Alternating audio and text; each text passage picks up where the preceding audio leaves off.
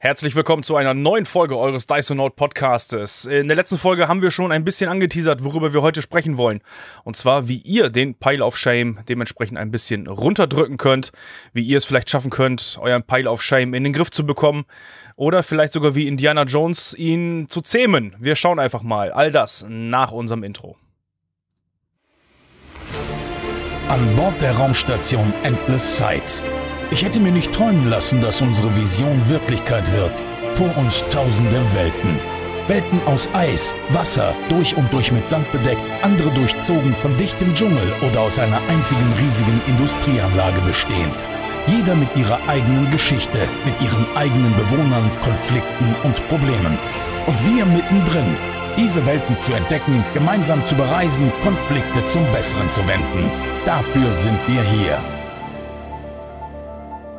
Wir sind die Dysonauts.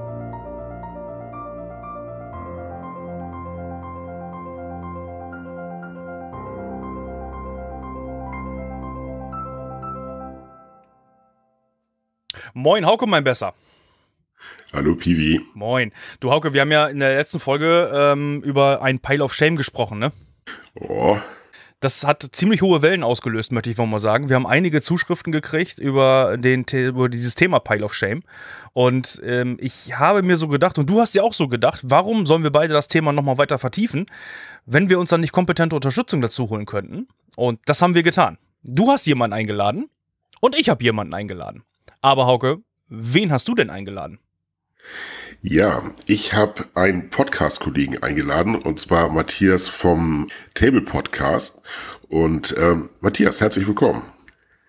Ja, hallo zusammen. Schön hier zu sein bei euch. Äh, sehr gerne. Herzlich willkommen auch von meiner Seite. Ich habe nämlich, und den kennt ihr schon, ähm, wahrscheinlich schon ziemlich gut, weil äh, derjenige war schon relativ oft bei uns im Podcast und ich finde es immer jedes Mal erheiternd, wenn er da ist. Mein guter Kumpel, der Daniel. Hallo Daniel. Hallo Piwi. Hallo. Vielen Dank für die Einladung. Sehr, sehr gerne. Sehr, sehr gerne. Wir wissen ja auch, dass ihr beide ähm, relativ viel und ganz, ganz krass im Hobby drin seid. Und wir dachten, ähm, vielleicht wäre das Thema mit euch beiden sehr gut zu besprechen, weil wir gehen da mal jetzt von aus, und da äh, spreche ich jetzt einfach mal für Hauke mit, dass ihr auch, sagen wir mal, einen kleinen Pile of Shame zu Hause habt. Ja, da möchte ich ja. mich aus ermittlungstaktischen Gründen jetzt nicht zu äußern. ich äh, weiß, was bei mir im Keller steht. Ich weiß, was bei mir im Hobbyraum steht. Beziffern möchte ich es nicht, um den Unmut meiner Partnerin nicht auf mich zu ziehen. Bist du dir sicher, dass äh, deine Partnerin diesen Podcast hört? Ja. Tut sie das wirklich? Liebe Grüße.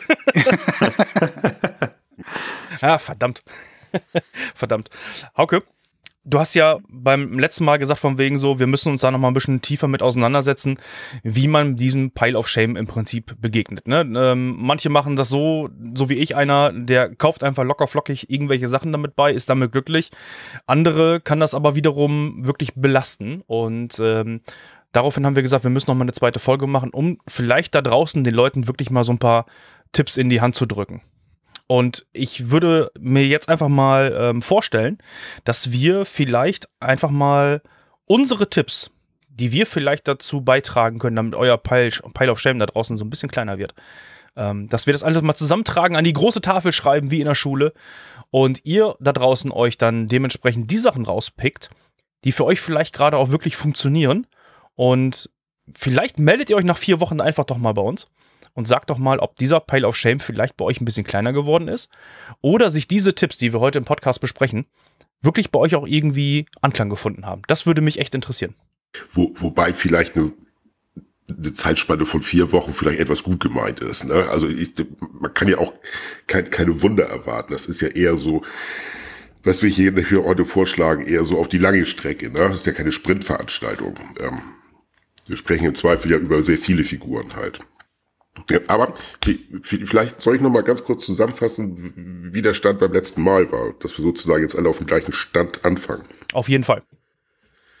Also, ähm, wir hatten ja festgestellt, dass der Begriff Pile of Shame im Prinzip äh, aus der ja aus der Computerspiele-Community kommt und ähm, nicht gespielte Computerspiele bezeichnet. Dieser, dieser Begriff ist dann übernommen worden für im Prinzip alles andere und ähm, er erfasst eigentlich das, das Phänomen, dass Menschen sich Hobbysachen Kultur, Kulturgegenstände besorgen und entgegen ihres Vorsatzes nicht nutzen. Ne? Also bestes Beispiel ist halt die Figur, die man sich kauft, weil man sie für eine neue Armee haben möchte und dann äh, aus irgendeinem Grund malt man dann diese Armee trotzdem nicht an.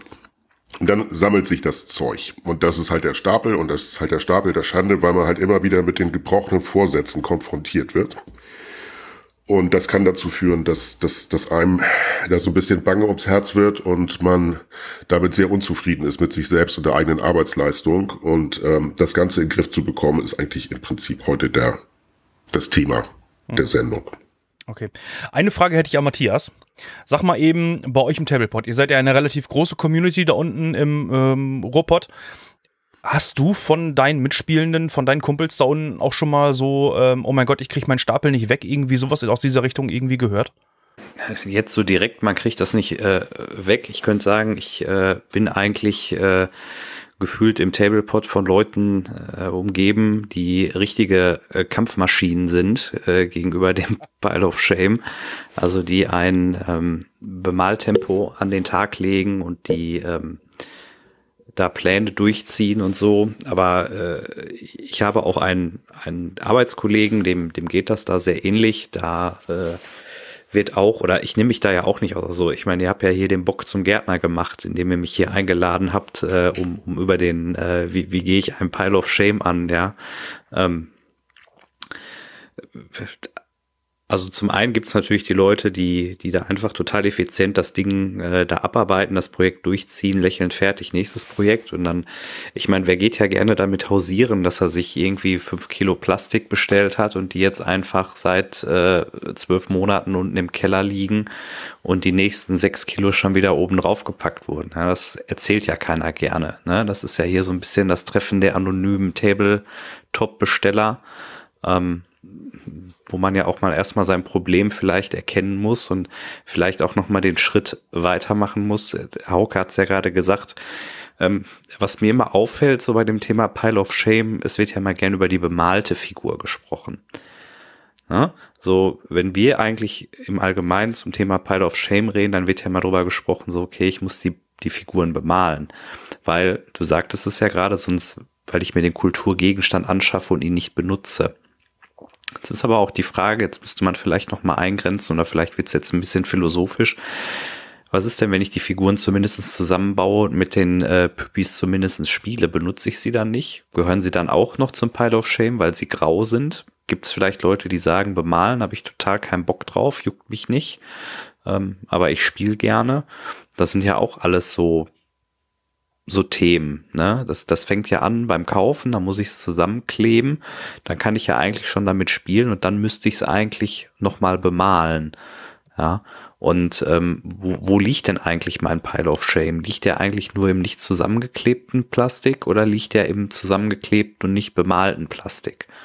Das sind ja auch noch so zwei Sachen, wo man vielleicht mal mit den, den Leuten hier so ein bisschen was an die Hand geben muss, ähm, um sie mal ein bisschen zu erden oder vielleicht auch mal ein bisschen so den inneren Frieden zurückzugeben. Weil ich glaube, das muss ja hier auch so ein bisschen das Ziel sein, dass man den Leuten so ein bisschen sagt, so, hey, du bist ja nicht alleine. Ne? Du bist nicht alleine mit dem Thema und es gibt Sachen, da kommst du klar. Mhm. Ich würde die Frage mal an äh, Daniel weiterreichen. Wie sieht das da bei dir aus, Daniel? Wie würdest du darauf antworten? Ist bemalt, unbemalt? Ähm, zählt das dann gleich schon direkt zum Pile of Shame für dich? Für mich ja. Hm, hat damit zu tun, weil äh, das Bemalen für mich ähm, neben dem Spielen ein essentieller Teil des Hobbys ist. So. Und ähm, eine Figur, die ich mir unbemalt anschaffe, schaffe ich mir auch mit dem Vorsatz an, sie irgendwann zu bemalen. Also ich zumindest. Das äh, ist, glaube ich, eine Definition, die muss jeder für sich selber ausmachen. Wir kennen da eben halt Leute, die ähm, sehr ungern bemalt haben und auch immer noch ungern bemalen, aber sich jetzt mittlerweile herangetraut haben. Die haben vorher immer Blanco gespielt, sage ich mal. ich glaube, du weißt, wen ich meine. ja. ähm, dann äh, kenne ich da noch einen, der hat früher auch gar nicht bemalt. Für den habe ich dann äh, seine solchen Marines mal bemalt und so ähm, der bemalt mittlerweile, dank Army Painter. So, ähm, von daher, das ist sicherlich eine Definitionssache für ein, für ein Selbst, wo das mit dem Pile of Shame anfängt und aufhört. Für mich ist es eben halt erst dann weg von diesem Pile of Shame, wenn ich es tatsächlich bemalt habe. Um das ähm, klar zu, zu, zu defini definieren und einzugrenzen. Ähm, die Frage ist, warum denkt man denn über den Pile of Shame nach? Also, wann fängt man an, darüber nachzudenken? Also die meisten, schätze ich mal, fangen daran an, rumzugrübeln in dem Moment, wo er entstanden ist. So, und ähm, die Gründe, warum sowas entsteht, warum da auf einmal fünf Kilo mehr Plastik draufkommen, ähm, die sind meiner Meinung nach erstmal überhaupt für einen selbst auch äh, zu definieren und einzugrenzen und vielleicht auch sogar abzustellen, um überhaupt die Chance zu haben, wenn man arbeitstätig ist, Familienvater ist, vielleicht noch ein anderes Hobby hat und so weiter, das Ganze eben halt zeitlich überhaupt irgendwann einmal gewuppt zu bekommen, was man da eben halt hat. So, ähm, wenn ich mir diesen Monat, äh, keine Ahnung, fünf Kilo Plastik bestellt habe, weil ich äh, vielleicht auf den nächsten Hype-Train mit aufgesprungen bin, aber diese fünf Kilo Plastik nie innerhalb des Jahres abarbeiten kann, weil ich einfach nicht die Zeit dafür habe, mich äh, intensiv um dieses Hobby eben halt zu kümmern, ähm, dann ist das zum Beispiel ein Ding, wo man vielleicht mal drüber nachdenken müsste. Muss ich so intensiv auf einen neuen äh, Hype-Train zum Beispiel ein aufspringen oder tut's nicht ein kleinerer Teil, um überhaupt erstmal mitspielen zu können? Hauke, du hast ja in der letzten Folge dann jetzt gesagt, von wegen so, dass wir uns auf jeden Fall nochmal hinsetzen müssten, um wirklich Strategien nochmal handfest nochmal darzulegen. Ne? Dafür ist diese Folge ja da. Und ich würde sagen, wollen wir direkt mal einsteigen in so ein paar Tipps, Tricks und wie wir es machen vielleicht? Ja, ich, ich lass das machen und ich, ich würde auch gleich ähm, in die Kerbe schlagen, die, die Daniel schon vorbereitet hat. Und zwar, ähm, bevor wir drüber nachdenken, wie wir den Pile of Shame abbauen, äh, ist es zwingend notwendig, sich darüber klar zu werden, warum er, warum er entstanden ist und ähm, ein weiteres Anwachsen zu verhindern. Denn jeder, der schon mal äh, Gewicht verlieren musste, abnehmen musste. Und leider bin ich jetzt nach zwei Jahren Corona, bin ich auch in der Lage, dass ich mal gut zehn Kilo abnehmen könnte. Äh, der weiß, du kannst so viel Sport treiben wie, wie möglich. Ne? Du kannst wie ein Irrer joggen gehen. Aber wenn du abnehmen möchtest, ist das zwingend notwendig, dass du erstmal weniger isst halt. Das ist, das geht halt nicht anders, ne? Oder ist richtig. Äh, so viel laufen, so viel laufen kannst du gar nicht, wie du an Kalorien einsparst durch weniger Essen halt. Ähm, und das geht natürlich Hand in Hand und man muss das halt ganzheitlich betrachten. Interessanterweise ist ja heute eine Folge von den Jungs vom Table Podcast erschienen. Folge 36, nee, doch, Folge 36 meine ich doch. Ohne Moos nichts los.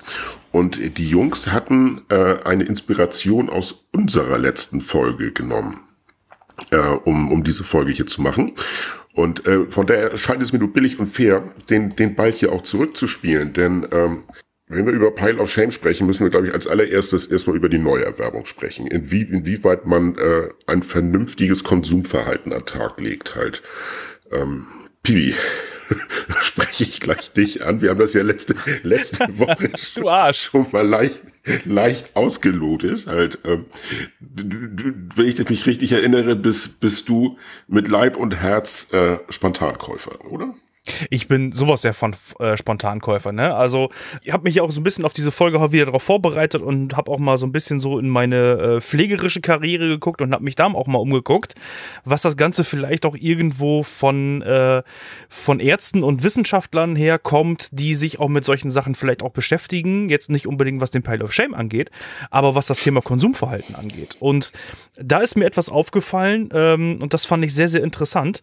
Ähm, es gab oder es gibt ein ein, ein, ähm, ein Neurowissenschaftler, ähm, der hat gesagt, ähm, vielleicht finde ich den, vielleicht finde ich den Dingsleiter noch gleich mal eben wieder. Äh, Henning Beck heißt der, der Neurowissenschaftler Henning Beck hat mal gesagt, ähm, für den Menschen gilt im Prinzip, mehr Besitz bedeutet auch gleich mehr Glück. Ob wir das erstmal jetzt äh, annehmen oder nicht annehmen, das ist erstmal nebensächlich. Aber das Gehirn arbeitet im Prinzip so. Wenn wir eine Neuanschaffung haben, setzt das Ding Endorphine frei und wir fühlen uns dabei glücklich. Ob das jetzt in einem digitalen Rahmen sich befindet oder in physischen Dingen, das sei erstmal dahingestellt. Aber wir fühlen uns erstmal erstmal glücklich. Und ähm, auch zu diesem Punkt von wegen mit diesen Spontankäufen, ähm, da habe ich einen interessanten Ansatz gefunden, den ich bei mir schon teilweise entdeckt habe, dem ich aber irgendwie nicht wirklich widerstehen konnte. Und er hat gesagt von wegen Kaufentscheidung einfach mal überschlafen. Ne, es gab damals, falls ihr euch noch erinnert, ne, bei der Bundeswehr gab es immer so diese Geschichte mit, wenn ich Sachen melden möchte, die mich belasten äh, oder womit ich ein Problem habe, sollte ich das erst nach 24 Stunden machen. Und wenn es nach 24 Stunden immer noch da ist, dann ist es wirklich ein Problem und dann muss das gelöst werden. Ansonsten ist das Ding quasi in Schall und Rauch aufgegangen. Und das versuche ich jetzt, ähm, auch schon nach unserer letzten Folge, Hauke. Deswegen, du hast mich da auch schon so ein bisschen therapiert, muss ich immer ganz ehrlich sagen. ähm, versuche ich meine Kaufentscheidung wirklich eine Nacht zu überschlafen. Ich lasse meine Sachen im Einkaufswagen digital liegen stell im, keine Ahnung, Shop XY, stelle ich den Einkaufswagen einfach irgendwo hinten in der Ecke und laufe aus dem Laden raus und komme am nächsten Tag erst wieder rein und schaue, ob meine Sachen immer noch da sind. Ja, sind sie. Und wenn ich dann noch die Lust verspüre, den Kram zu kaufen, dann gehe ich damit an der Kasse. Und wenn nicht, dann sage ich mir von wegen, ja, okay, war damals oder ne, gestern war das halt eine doofe Überlegung brauchst du eigentlich gar nicht, also lässt es. Das hat mich jetzt in den letzten zwei Wochen schon von zwei Käufen wirklich äh, abgehalten. Was denn, wenn man fragen darf? Äh, das waren zwei Sachen für Star Wars Legion. Was denn? Das war ein, ein, ein Speeder für meine Rebellen und es waren, ich glaube, nochmal eine Packung äh, stinknormale Rebellen, glaube ich. Welche, welche, welche, welcher Speeder? Das weiß ich gar nicht mehr. So ein verdammter Scheiß. Hast du gerade gesagt, von wegen, du hast es nochmal schön auf dem, auf, dem, auf dem Schirm, so nach dem Motto, was du haben wolltest? Äh, nee, da kaufst du Gott und die Welt und dann fängst du an, dich zu verbessern in dem Sinne mit, mit eigenen Vorsätzen und dann kaufst du keine Star Wars Sachen mehr. Hätte ich mal bloß die Klappe gehalten, hätten wir mal bloß, bloß über was anderes gesprochen. Jetzt, jetzt ah. ist wieder.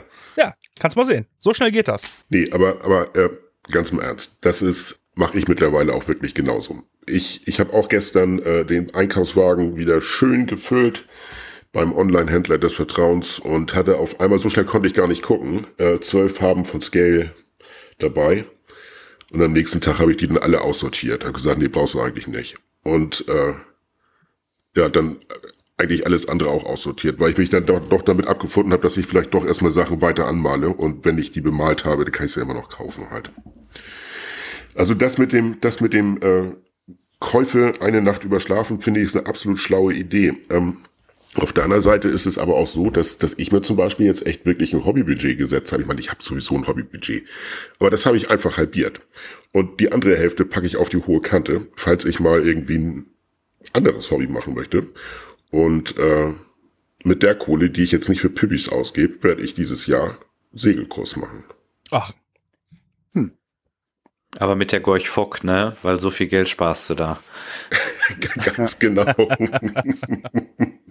genau, da kann ich immer noch was zu sagen, also zu beiden Themen tatsächlich.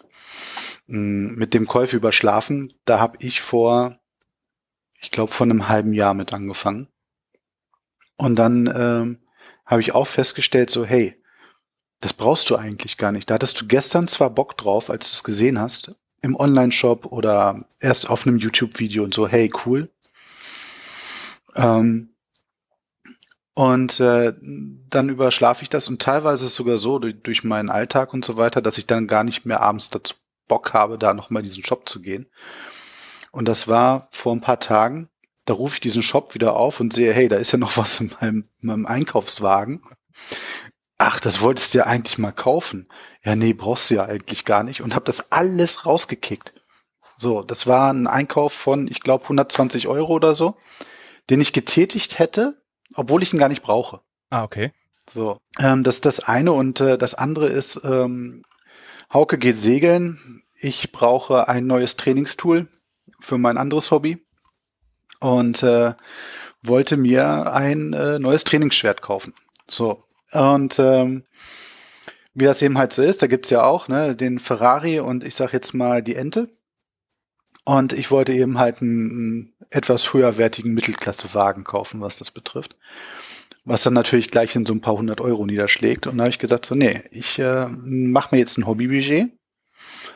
Ähm, das beläuft sich, jetzt werdet ihr lachen, auf 50 Euro im Monat. Mit diesen 50 Euro komme ich wunderbarst hin. Wenn ich keine neuen Püppis finde, die ich kaufe oder brauche für mein Projekt oder was auch immer, merke aber, hey, ähm, ich brauche irgendwie, keine Ahnung, neue Airbrush-Farben etc. pp dann geht da jetzt eben halt auch von diesen 50 Euro runter. Und ich muss sagen, nach ein paar Monaten, das tut gut. Mhm. Das tut einfach gut. Man hat, äh, man kann sich was kaufen, man hat etwas, worauf man sich freut. Man ist selektierter und ähm, freut sich dann auch mehr über das, was man da hat. Man hat länger Freude daran, als nur dieses, hey, es ist da, ich pack's aus, guck's mir an. Ach, hier steht ja noch, äh, keine Ahnung, äh, das Infanterieregiment für meine ähm, Briten Waterloo oder was auch immer. Das machst du jetzt erstmal fertig. So, dann wandert das Ding ins Regal, dann ist das Regiment fertig. Dann hast, dann guckst du das, was du ins Regal geta getan hast, schon gar nicht mehr an. Also dieser, das ist wie so, ein, so, ein, so eine Fastfood-Freude, weißt du? Du holst dir den Big Mac, bist für 20 Minuten satt und danach hast du wieder Hunger und deine Wampe wird immer dicker und dicker und dicker. Und das Portemonnaie leerer. Und das Portemonnaie leerer, genau. So, und äh, das ist eben halt genau das, was man eben halt mit so einem Hobby-Budget, das muss auch jeder für sich selber definieren, da gibt's keine goldene Regel, ähm, dann eben halt äh, bewirken kann. Ne? Man kann sich dadurch eben halt einschränken, aber länger Freude an diesem haben, was man sich eben halt angeschafft hat. Das ist so meine Erfahrung daran. Wäre das nicht vielleicht auch so euch oder für euch eine Möglichkeit, einfach mal zu überlegen, so ich plane jetzt erstmal auch vielleicht in die nähere Zukunft, was ich mir anschaffen möchte. Das heißt, ihr macht euch eine Liste und sagt euch, ich möchte, was ich im ersten Quartal des Jahres möchte ich folgende Sachen kaufen. Das muss ja nicht gleich, auf, gleich alles auf einmal sein, aber es geht ja vielleicht auch dann halt über die nächsten Wochen dann halt drüber. Und wo ihr sagt, ähm, und das ist es dann auch und mehr wird dann auch nicht geholt. Naja, aber weißt du, was du in äh, zwei Monaten haben möchtest? Also ich meine, das ist jetzt, wenn du halt, ähm, weiß ich nicht, jetzt irgendwie, ich sag jetzt mal, Ultramarines spielst oder Orks oder was auch immer oder in irgendeinem anderen System, ja. Oder jetzt bei Star Wars Legion, du spielst irgendwie Imperium oder Rebellen, so, dann kannst du jetzt natürlich sagen, okay, ich mache mir jetzt irgendwie eine, eine Roadmap und sag, okay, ich brauche auf jeden Fall für meine 800 Punkte, ich klicke mir da eine Liste zusammen oder ich mache mir da für, Skirmish meine 500 Punkte Liste fertig und dann weiß ich halt genau, okay, ja, da fehlen mir noch irgendwie ein Trupp Rebellen, Veteranen und dann brauche ich halt noch diesen Partybus oder was auch immer und das plane ich dann halt da im, im nächsten Quartal und so ein. Ja, ist ja nur, ist ja nur die halbe Wahrheit, ne? So, dass das Problem tritt ja auf, wenn dir plötzlich was vor die Füße fällt, was du vorher noch nicht so auf dem Schirm hattest wo du dir denkst, so, oh, hallo, wo kommst du denn her? Mhm. Ja? Und, und dann, dann passieren halt so diese Sachen. Und ähm, dann schla also mir geht das dann immer so, ich bin dann nicht so so instant getriggert, so, sondern ich schleich dann so um dieses, ich bin dann angesprochen, ich schleich dann echt so um die Sachen rum. Dann sind wir so wie, wie bei diesem ähm, dieser Konsumeffekt, ne? So man schleicht damit rum, man beschäftigt sich damit, man guckt sich irgendwelche Videos dazu an, du liest was dazu, du guckst dir Bildchen an, ja. Dann schleichst du durch diverse Shops, schleichst da rum wie die Katze um den heißen Brei, guckst, wer hat das verfügbar, was kostet das eigentlich, hm, hm, hm. und dann gehst du mit der Idee ein bisschen schwanger, schleichst weiter drumrum und so weiter und so fort. Und dann bestellst du das, dann freust du dich, so, du hast es jetzt gekauft, freust dich schon drauf, dann kommt der DHL-Mann oder wer auch immer und liefert dir das nach Hause. Und dann ist eigentlich so dieser Effekt schon weg. Ne? So, dann, dann ist eigentlich so dieses, dieser, dieser Spaß am Kauf ähm, ist vorbei, der ist verpufft. Und dann fängt ja die Arbeit an. Ne? So, ich habe quasi so dieses ganze vorher mich beschäftigen, vielleicht eine Armeeliste ausdenken hm, und so weiter und so fort, das ist alles weg. Und jetzt geht's wirklich ans Eingemachte. Jetzt muss ich mich ja hinsetzen, den Driss auspacken, ich muss die Gussrahmen ausknipsen, ich muss den Mist zusammenkleben, ja, da müsste ich's grundieren und da müsste ich's irgendwann auch nochmal bemalen. Oh. Total keinen Bock, lass mal sein hier, die Kinder gehen mir auf den Keks oder auf der Arbeit war Stress, hm, ich mach mal lieber was anderes, ich lese mal lieber ein Buch und so weiter und so fort. Und dann liegt das Zeug unten im Keller und dann liegt das da, ne? Und dann ist das so der andere Teil der Wahrheit, neben dieses geplanten Armeeaufbaus, wo ich auf jeden Fall hin will mit meiner 800 oder meiner 1500 Punkte 40k-Liste oder irgendeiner Org-Liste oder was auch immer, das ist halt so der andere Teil. Und, und ich glaube, das ist genau, genau der Punkt, wie man da irgendwie Strategie entwickelt. So am besten ist weniger zu essen, dann wirst du auch nicht dick, ne? Das ist ähm, weniger kaufen, sich mehr damit auseinandersetzen, sich wirklich fragen, was will ich eigentlich? Was möchte ich eigentlich? Passt das überhaupt? Also ich meine, am einfachsten ist natürlich, wenn das Budget halt in Anführungsstrichen so übersichtlich ist, dass ich halt gar nicht in die Verdrückung komme. So, aber das korreliert ja häufig damit, man ist inzwischen erwachsen, man ist gesetzt, man, man hat einen Job, ja, du hast halt ein gewisses Budget und äh, vielleicht kompensiert man ja auch ein bisschen was damit, was man früher mit, mit 16 oder so nicht konnte, sondern du kannst halt einfach sagen, ja, kaufe ich den Mist halt einfach.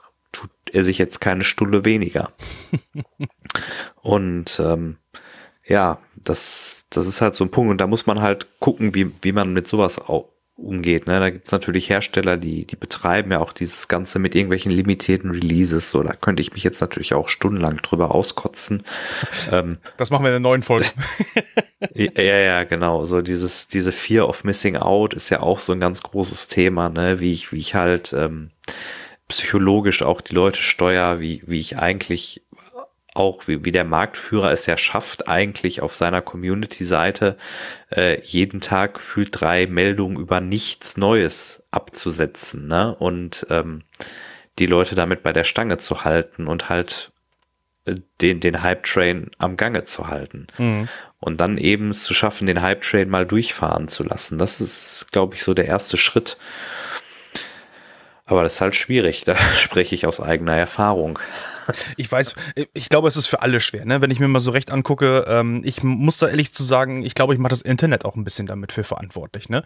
Wenn ich mir angucke, wie viele Möglichkeiten ich heutzutage habe, einfach mit meinem Tablet vom Sofa aus zu bestellen, ohne dass ich für mein Klar. Hobby jetzt einfach nur in die Stadt fahren müsste, um dort einfach mal zu stöbern, was habe ich denn dort eigentlich gerade zum Kauf angeboten?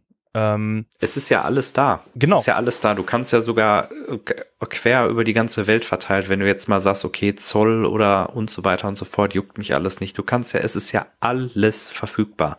Und du kannst ja selbst den abgefahrensten alten Quatsch kaufen, wenn du halt bereit bist, gewisse Preise auf Ebay äh, zu bezahlen. Ne, das ist ja, es ist ja alles da. Es ist alles von der Couch aus verfügbar und du bist halt auch einfach viel besser vernetzt. Ne? Du bist in irgendwelchen Communities unterwegs, da werden Links gepostet, es gibt nach, nach Newsseiten, die, sich nur damit beschäftigen, was es irgendwie Neues gibt, die dir irgendwelche Kickstarter vor die Nase setzen, die dir irgendwie die neuesten Releases vor die Nase setzen. Dann gibt's die Kumpels, die dir per WhatsApp oder per Discord oder so irgendwelche fiesen Links schicken. Ne? Das ist so, oh Gott, schon wieder draufgeklickt, Mist, sieht ja doch ganz geil aus und dann ne, und, und so, so diese ganze Scheiße, das gab's ja früher alles gar nicht, ne, so diese, da gab's ja nur das, was im Laden stand. Und ja, so dieses, diese ganzen verrückten Sachen wie im Internet bestellen und so, das, das gab's ja also ich meine, gut, was heißt, das gab es früher nicht. Ich meine, ich rede jetzt hier von den frühen 2000ern, Ende der 90er, aber als ich so mit dem Hobby angefangen habe, da gab es halt das, was es im Laden gab und da war halt ganz egal, was im Armeebuch stand und ob es das und das gab. Wenn es das nicht gab, dann hast du halt Pech gehabt. Wo sollst du das auch herkriegen? Ja, das, oder wie sollst du da irgendwo hinkommen, wo der nächste mhm. GW ist oder so, wenn, wenn du jetzt nicht irgendwie ein Auto hättest oder so. Aber ich finde, da hat man durchaus gezielter Sachen gekauft. Also ich kann mich nicht erinnern, dass ich damals irgendwie mit 16, wo wir hier nach Osnabrück gefahren sind, äh, in Spieltraum zum Beispiel, dass ich mich dann irgendwie ähm, an mein Konto rangegangen bin, habe mir 500 Euro abgeholt und habe gesagt, so, ich kaufe heute irgendwie alles aus dem Laden, bis ich kein Geld mehr habe, so nach dem Motto, sondern ich bin hier irgendwie gezielt hingegangen, habe gesagt von wegen so, oh, entweder will ich... Ja, weil du die, weil du die 500 Ocken ja auch nicht über hattest. Ne, wenn du die Kohle halt nicht hast, dann kommst du auch nicht auf dumme Gedanken. Außer du hast ein Dispo. Aber das ist ein anderes Thema. Umso wichtiger finde ich, ist es, dass man ähm, lernt, sich zurückzunehmen beim Kauf.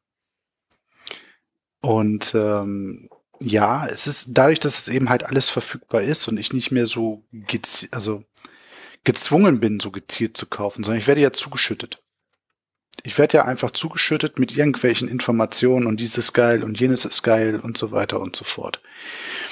Ähm, umso wichtiger finde ich, ist es für jeden, ähm, dass er sich so ein bisschen zurücknimmt und darüber nachdenkt, wie wichtig ist das jetzt überhaupt für mich? Also diese Informationsfilterung ist bei einem Hobby natürlich sehr schwer. Das kann ich verstehen, weil man, ich bin da ja auch mit betroffen. Ich ich nehme mich da ja nicht von aus. Es ist ja ähm, ein Lernprozess, den ich für mich selber eben halt jetzt so gefunden habe und der erfordert eben halt auch ein, muss ich zugeben, ein hohes Maß an, Dis an Disziplin. Als ähm, wir da eben halt, äh, als Pivi die, ähm, die Hero Quest Box ausgepackt hat da fühlte ich mich gleich an meine Jugend erinnert, an meine Kindheit, an die tollen Dinge, die man damit erlebt hat mit diesem Spiel und so weiter und so fort. Und ich war versucht, sofort loszugehen und irgendwo im Internet eine von diesen Boxen zu kaufen. So, ähm, inwiefern war das jetzt wichtig für mich, diese Box zu kaufen? Tatsächlich null und nichtig, weil derjenige, mit dem ich spiele, wir haben eine von diesen Boxen im Bekanntenkreis, nämlich die von Piwi. Mhm. So, wenn wir Hero Quest spielen wollen, fahre ich zu Piwi und, und, und spiele mit Piwi Hero Quest. Ich brauche diese Box nicht zwingend für mich selbst.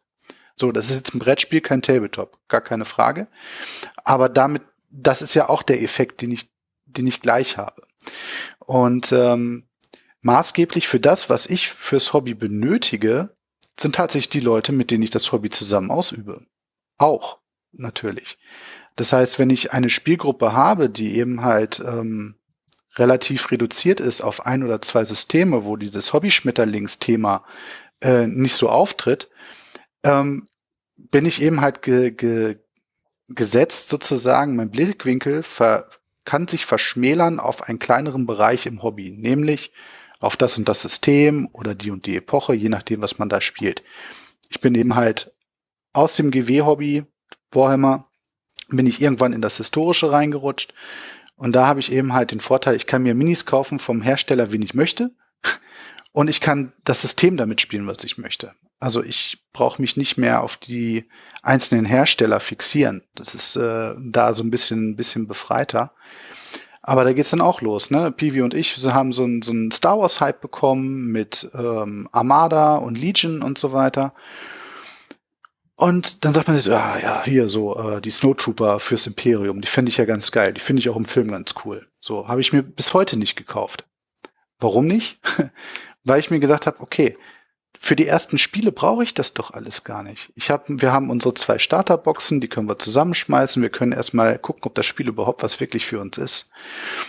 Und das ist eben halt das, was ich meine, mit zurückzunehmen. Wie wichtig ist es in diesem Moment, das jetzt zu besitzen, das runterzufiltern und zu sagen, ich halte meinen Klickfinger jetzt so ein bisschen unter Kontrolle und betrachte erstmal die Situation und denke faktenbasiert nochmal darüber nach, was ich brauche. Mhm. Das mache ich ja im, im äh, eventuell im Lebensmitteleinzelhandel mache ich ja genauso. Ja, da sehe ich dann eben halt, keine Ahnung, die ähm, irgendwas Schönes stehen, wo ich, wo ich in dem Moment dran denke, so, boah, hast du Hunger drauf? Tja, wie sieht's denn aus? Was essen wir denn diese Woche? Ja, das, das, das und das. Naja, denkst du noch mal drüber nach, vielleicht kaufst du es dann fürs nächste, für die nächste Woche ein oder so. Ne?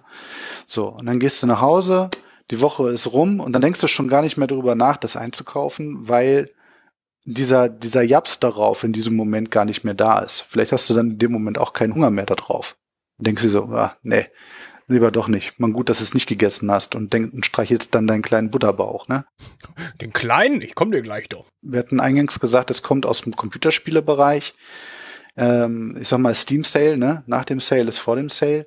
Ich weiß gar nicht, wie viele Computerspiele ich durch diese Steam Sales in meiner Bibliothek habe, die ich noch kein einziges Mal auf der Festplatte installiert habe, weil ich gar keine Zeit dazu finde, die alle zu spielen. so, und ähm, dadurch ist mir das eben halt auch bewusst geworden und äh, lässt sich auch auf das andere Hobby übertragen. Es hat sehr viel mit der Eigendisziplin zu tun und damit, äh, wie stark man sich selber dann auch nochmal runterfiltern kann. Das ist so das Haupt, Augenmerk, um überhaupt zum Pile of Shame nicht entstehen zu lassen. Das ist so meine Meinung dazu. Mhm. Eine Frage hätte ich an euch, äh, an euch drei. Ähm, jetzt mal so zum Thema, ähm, inwiefern sind denn solche äh, Leute wie YouTuber, wie Twitcher, wie Podcaster und so weiter und so fort Teil des Problems Pile of Shame? Ich denke, hm? das ist einfach so, dass wenn mal irgendwie eine neue Sau durchs Dorf getrieben wird, dann springt da natürlich erstmal jeder drauf an, weil er natürlich dann gerade ein aktuelles Spiel gerade hat. Er möchte es präsentieren ähm, und ist dann natürlich auch jemand, der dann vielleicht Reichweite damit generieren will. Ne? Ähm, ich war zum Beispiel total geflasht, als Hero Quest gekommen ist. Ich habe mich gefreut wie ein Schneekönig. Ich war damals wieder das, äh, das, der zwölfjährige Piwi, der gesagt hat, geil, ich habe Hero Quest. Hallo, ich habe Hero Quest. Cola auf dem Tisch, Chips auf dem Tisch und wir spielen. Auf geht's. Ähm, das, das, das wollte ich dann halt teilen. Ne? Aber ähm, ich habe immer manchmal das Gefühl, dass wenn jetzt bestimmte YouTuber ein bestimmtes Spiel plötzlich präsentieren und äh, das in erster Linie auch dann hochjubeln, dass dann plötzlich da jeder drauf anspringt und sagt, muss ich haben, weil der hat gesagt. Ich glaube, es kommt auf den YouTuber drauf an. Mm, die gibt's ja auch, also die, die das wirklich professionell so ein bisschen als Influencer betreiben. Die gibt's ja in diesem Bereich auch. Den gibt's auch im Bereich Computerspiele etc. pp. Ich glaube, diesejenigen haben in ihrer, ihrer Reichweite, die sie haben, einen großen Einfluss darauf, ja, denke ich schon. Ähm, jemand, der das rein aus Hobby macht, so wie wir jetzt zum Beispiel, und äh, wir da relativ ungezwungen unsere Freude, sage ich jetzt mal, kundtun. Ja, so und das Ganze dann vielleicht auch noch versuchen, dann noch mal so ein bisschen neutral zu bewerten und sagen, ja, hier ist etwas nicht ganz so toll und das ist nicht ganz so toll. Äh, also auch die Negativseiten rausbringen das bremst ja schon wieder so ein bisschen den Hype-Train, ne? So, Vorsicht, ist nicht alles Gold, was glänzt, sage ich jetzt mal. Und die richtigen Influencer, da hat man so richtig so die, boah, das ist das Ding. Man sieht es auch an den reißerischen, ähm, na, äh, Heads, sage ich jetzt mal, die sie für ihre Videos dann da eben halt nehmen, um eben halt diese Klicks zu generieren. Ähm, ich denke, das ist eine sehr ausgeklügelte Marketingstrategie. Nicht umsonst gibt's die zuhauf. Und die befeuern das, ja doch, denke ich schon. Also ich denke, man ist ja immer Teil des Problems. Ne? Das ist ja egal, ob du jetzt YouTuber oder Podcaster bist oder ob du einfach nur Teil einer Community bist, sobald du irgendwo ähm, den Link teilst und sagst, boah geil, hier äh, guckt euch mal das und das System an, dann hast du ja schon irgendwie den Grundstein gelegt, irgendjemand anzufixen. So, das, ich, ich weiß jetzt nicht, ob man sich als ähm, Person, die sich jetzt irgendwie in den sozialen Medien bewegt, also egal ob jetzt im Rahmen eines Podcasts oder ob man jetzt auch einen YouTube-Kanal hat oder so, ähm, glaube ich, muss man sich jetzt nicht den Schuh unbedingt anziehen, dass man da irgendwelche Leute ins Verderben stürzt oder so. Ja, also ich glaube, so weit würde ich nicht gehen. Aber ähm, das ist ja auch einfach, ähm, es hängt ja einfach dadurch, dass, dass über das Internet ja alles so miteinander, ja, verrückte Sache vernetzt ist, ne? Ähm, gehört man halt schnell dazu, egal auf, auf welchem Level oder auf welcher Ebene und egal, ob du irgendwo in einem Club zusammen am Tisch stehst und jemandem über die Schulter guckst, der irgendwie ein neues System auspackt und plötzlich geht der Hype-Train los oder weil jemand irgendwie eine Rezension gepostet hat, die das total abfeiert. Ähm, ich glaube, da muss man jetzt kein schlechtes Gewissen haben. Wenn es jetzt natürlich jemand ist, der professionell einen, einen Kanal betreibt und auch sein, sein Lebensunterhalt damit bestreitet und ähm, da reißerische Titel, Thema Clickbait und so weiter und so fort, ja, ähm, verwendet. Ja, weiß ich nicht. Also ich meine, ein bisschen Medienkompetenz oder so muss man dann ja auch vielleicht mitbringen. Ähm, ich kenne das ja selber, man, man springt halt drauf an, eine gute Präsentation und so. Es ist ja wie bei jedem Produkt, egal ob du irgendwie ein Brötchen oder ein Auto oder ein paar Plastikfiguren kaufst. Das kommt ja immer aufs Gesamtkonzept an und wenn, wenn das jemand schön verpackt und was Tolles zu erzählt und so, dann bringt dich das natürlich in eine gute Stimmung. Und dann äh, bist du dann natürlich offen. Aber dass, dass man jetzt irgendwie hier, dass ich jetzt ein, ein schlechtes Gewissen haben muss, weil ich in, in unserem Tablepot Discord vielleicht irgendwie mal eine News post oder so. Ich habe mir jetzt irgendwie, oder im, in WhatsApp, ich habe mir jetzt irgendwie das Statement Hands ähm, Regelwerk gekauft oder so. Also nee, ich glaube nicht, dass ich jetzt deshalb nachts schlecht schlafen muss oder so. Das ist eben halt das, was ich meinte, ne? Also wenn ich innerhalb einer Hobby-Community oder eben halt auch im Rahmen eines Podcasts oder eines Unpacking-Videos, ne, innerhalb der Community etwas, ähm, ich sag jetzt mal, mit Freude auspacke und ähm, so weiter und so fort, dann beeinflusse ich damit dann natürlich auch andere Leute. Gar keine Frage. Das tue ich immer. Mit jeder Handlung, die ich mache, beeinflusse ich andere Leute. Ob ich das will oder nicht, spielt keine Rolle. So, die Frage ist nur, ähm, wie gezielt ist es darauf ausgelegt, andere Leute zum Kauf zu animieren? So, und in dem Moment, wo ich eben halt äh, dafür bezahlt werde und das professionell betreibe, bin ich ein Teil der Marketingmaschine. Ganz bewusst. So, und äh, das ist ein neuer Teil der Marketingmaschine. Und äh, ich denke schon, dass das natürlich stark dazu beiträgt, wie die Leute eben halt kaufen. Gerade im Zusammenhang mit dieser Vernetzung. Ne? Also ich wollte jetzt uns da nicht äh, schuldig sprechen oder unschuldig sprechen. Ich finde nur, es gibt eben halt den ähm, professionellen Bereich und es gibt den Hobbyistenbereich, so will ich es mal nennen. Und die, Provi äh, die Professionellen sind schon sehr stark darauf ausgelegt, wie sie etwas sagen, ähm, wie sie was präsentieren, um möglichst positiv zu beeinflussen. Mhm. Also die machen das schon ganz geschickt. Und das ist das, was ich meinte mit, ähm, sie befeuern das. Und das tun sie definitiv. Mhm. Ne? Nicht umsonst werden die so hoch bezahlt zum Teil. Ja, klar. Hauke, ich würde mal sagen, lass uns doch noch mal irgendwie zu so kleinen Möglichkeiten rübergehen, so kleine, einfache Tipps und Tricks, die man anwenden könnte, um sein Pile of Shame abzubauen. Ja, also auch, auch hier betrachten wir nochmal die Seite der Neuerwerbung. Ne? Wir, haben ja, wir haben ja dieses Verhältnis zwischen äh, mehr Sachen kommen rein, als Sachen kommen hinten raus. Und wir versuchen jetzt sozusagen erstmal zu verhindern, dass noch mehr Sachen dazukommen. Aus meiner Sicht, der wichtigste Gedanke ist, ist, ist eine Budgetierung, dass man sich einen gewissen Betrag X pro Monat setzt und sagt, mehr gebe ich einfach nicht aus. Und wenn ich Sachen kaufen möchte, die diesen Betrag übersteigen, dann muss ich halt sparen. Das führt dazu, dass die, die Sachen ähm, von einem bedeutend mehr gewertschätzt werden, weil man sich länger drauf freut, heißt ja immer so schön, ne? das alte Sprichwort Vorfreude ist die schönste Freude. Äh, und dass man die Sachen einfach nicht, nicht wie Daniel so schön sagte, quasi wie, wie ein Fastfood wegkonsumiert und dann einfach ins Regal, ins Regal stellt und, und das ist ja eigentlich nur ein Synonym für, für Müll, ne? Nie wieder gesehen werden. Also Budgetierung, bewusst einkaufen, also keine Spontankäufe, sondern durchaus eine Nacht drüber schlafen. Ähm, eine Einkaufsliste schreiben. Ich schreibe mir mittlerweile tatsächlich auf, was ich brauche. Ähm, Nein, Oil, gut, aber das braucht man, glaube ich, immer. Also das ist egal halt, ne? Aber äh, wie Daniel eben auch sprach, ne?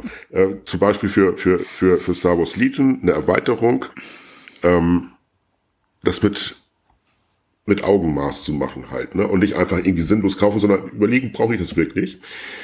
Und ähm, ich für meinen Teil habe für mich auch erkannt, ich bin jetzt, gehe langsam auf die 50 zu, ich bin fast ein erwachsener Mann. Und äh, das ist ein diese, Gerücht, das ist ein Gerücht. Ja. Und diese, die, diese, diese, diese perfiden Vertriebsmethoden mit, mit Fear of Missing Out, was Games Workshop macht, ne? Das mache ich nicht mit. Aus Prinzip nicht. Ich lasse mich von der Firma nicht verarschen. Das will auch von keiner anderen Firma verarschen. Aber äh, insbesondere nicht mit diesem Fear of Missing Out. Äh, Habe ich damals bei Kill Team durchgezogen. Ich hätte mir eigentlich das gesamte Kill Team Paket kaufen wollen. Ähm, hab dann wirklich auch, wie Matthias das so schön schilderte, ne, wie der Kater um heißen Brei, ein ganzes Wochenende halt immer in der Warteschlange gewesen, obwohl ich es eigentlich nicht kaufen wollte. Ich war trotzdem in der Warteschlange, bis ich mir irgendwann gesagt habe, hier komm, leckt mich am Arsch. Und äh, ich habe es überhaupt nicht bereut, das nicht gekauft zu haben. Das Gelände habe ich bei eBay geschossen. Äh, und alles andere brauchte ich überhaupt nicht. Also eigentlich alles richtig gemacht. Also äh, diesen Fear of Missing Out Scheiß muss man sich halt auch überlegen, ob man das mitmachen will. Und äh, als, als letzte Überlegung auf der Einkaufsseite habe ich eigentlich, wenn man, wenn man Ressourcen einsetzt, letztendlich ist Geld ja Ressource, Da muss man sich halt auch überlegen, wenn ich jetzt mir etwas kaufe, dafür das Geld bereitstelle, habe ich denn die andere notwendige Ressource, nämlich Zeit. Und wenn ich die Zeit nicht habe, dann brauche ich das gar nicht kaufen. Denn dann werde ich es nicht benutzen. Und ähm, wenn ich die Zeit nicht habe, dann kann ich natürlich mir irgendwie auch noch die Zeit nehmen, ne? irgendwie Zeit schaffen. Und dann macht das Sinn, sich zum Beispiel eine Erweiterung für Star Wars Legion zu kaufen. Das Ding wird geliefert und man innerhalb kürzester Zeit packt man das aus, malt es an und macht es fertig. Das wäre ein vernünftiger Umgang damit. Und ähm, das wären so meine, meine Anmerkungspunkte dazu. Mhm. Ich habe mir zum Beispiel noch aufgeschrieben, ähm, das passt da vielleicht auch gerade noch irgendwie ganz gut dazu, irgendwie in diese Richtung. Ähm, dass man sich kleine Schritte irgendwie setzen äh, sollte dann halt auch, ne? Dass ich jetzt nicht gerade meine äh, dreieinhalbtausend Punkte Warhammer 40.000 Armee direkt in einem Schlag zusammenkaufe oder irgendwie sowas, sondern ähm, wirklich mal mit, mit, mit kleinen Sachen anfangen, ne? Ja, alle sagen, ja, so ein Spiel beginnt erst ab 1500, 2000 Punkte, sonst kannst du das mit Warhammer gar nicht erfahren und ist doch alles scheiße und was weiß ich nicht was. Ähm, ja, aber man kann doch auch kleine Spiele machen. Wieso muss ich denn gleich mit 2000 Punkte starten? Wieso kann ich nicht erstmal mit zwei Standard und einer, einer HQ-Einheit einfangen? Oder wieso kann ich nicht äh, Star Wars Legion spielen mit nur der Grundbox, um erstmal in das Spiel reinzuschnuppern? Ne? Also, wenn ich das manchmal sehe, wie viele Leute sich da plötzlich eine ganze Wagenladung von, von Spiel und auch noch Zusatzartikel in einem Schlag kaufen. Ich glaube, das wäre der Punkt für mich, wo ich dann plötzlich sage, boah, da wäre ich erschlagen von. Ich sag da mal ein Stichwort, als es anfing. Kickstarter. ja, Kickstarter. Das ist ja so ein Punkt, da bin ich ja Gott sei Dank äh, raus. Echt? Ja, ja ich auch. ja. Okay. okay. Warum bist du da raus, Matthias? Nee.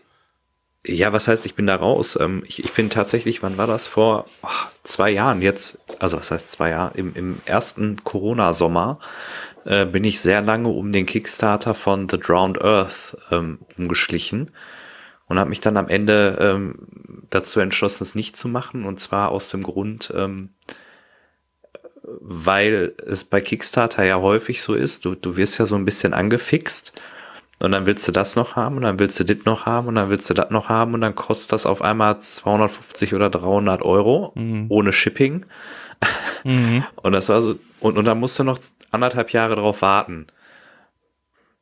Und das war halt so der Punkt, wo ich gesagt habe, nee, lass mal stecken. Also ich habe tatsächlich schon ähm, für äh, STL-Files, also für digitale Druckdateien, äh, Pile of Shame, Hust, Hust, ähm, ähm, äh, bei Kickstarter mitgemacht und, und das funktioniert eigentlich auch so. Das hat zumindest sehr gut funktioniert, aber so bei diesem ganzen Boardgame und, und Tabletop mit physischen Produkten, da tue ich mich echt schwer, irgendwie immer direkt so, also es ist ja schon echt teuer teilweise, ne? Also du legst ja schon da echt richtig viele Scheine auf den Tisch und dann dauert das einfach zwei Jahre oder so, bis der Driss dann mal bei dir ausgeliefert wird. Und nee, also da also ich habe sowieso mit Kickstarter echt viele Probleme. Ich glaube, das ist, da kann man auch gerne mal eine Folge drüber machen. So dieses Ausla Auslagern des ähm, des unternehmerischen Risikos auf den Konsumenten, aber das, das führt jetzt hier zu weit.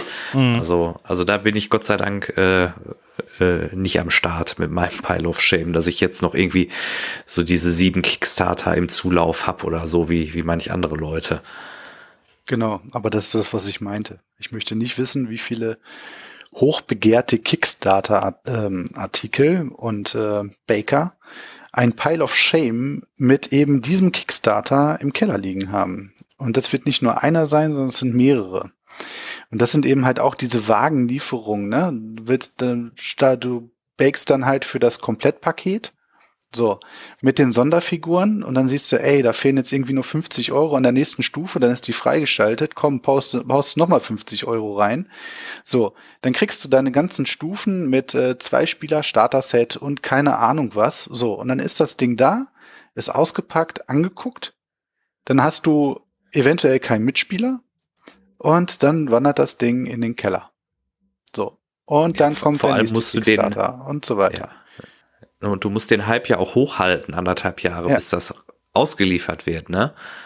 Genau. Das sind eben halt diese, diese Wagenladungen, ne? Also der eine geht eben halt ähm, bei GW rein und äh, in den Online-Shop und bestellt erstmal alle Neuveröffentlichungen der Woche, die für seine Armee zu, äh, zutreffend sind, sage ich jetzt mal. Ne?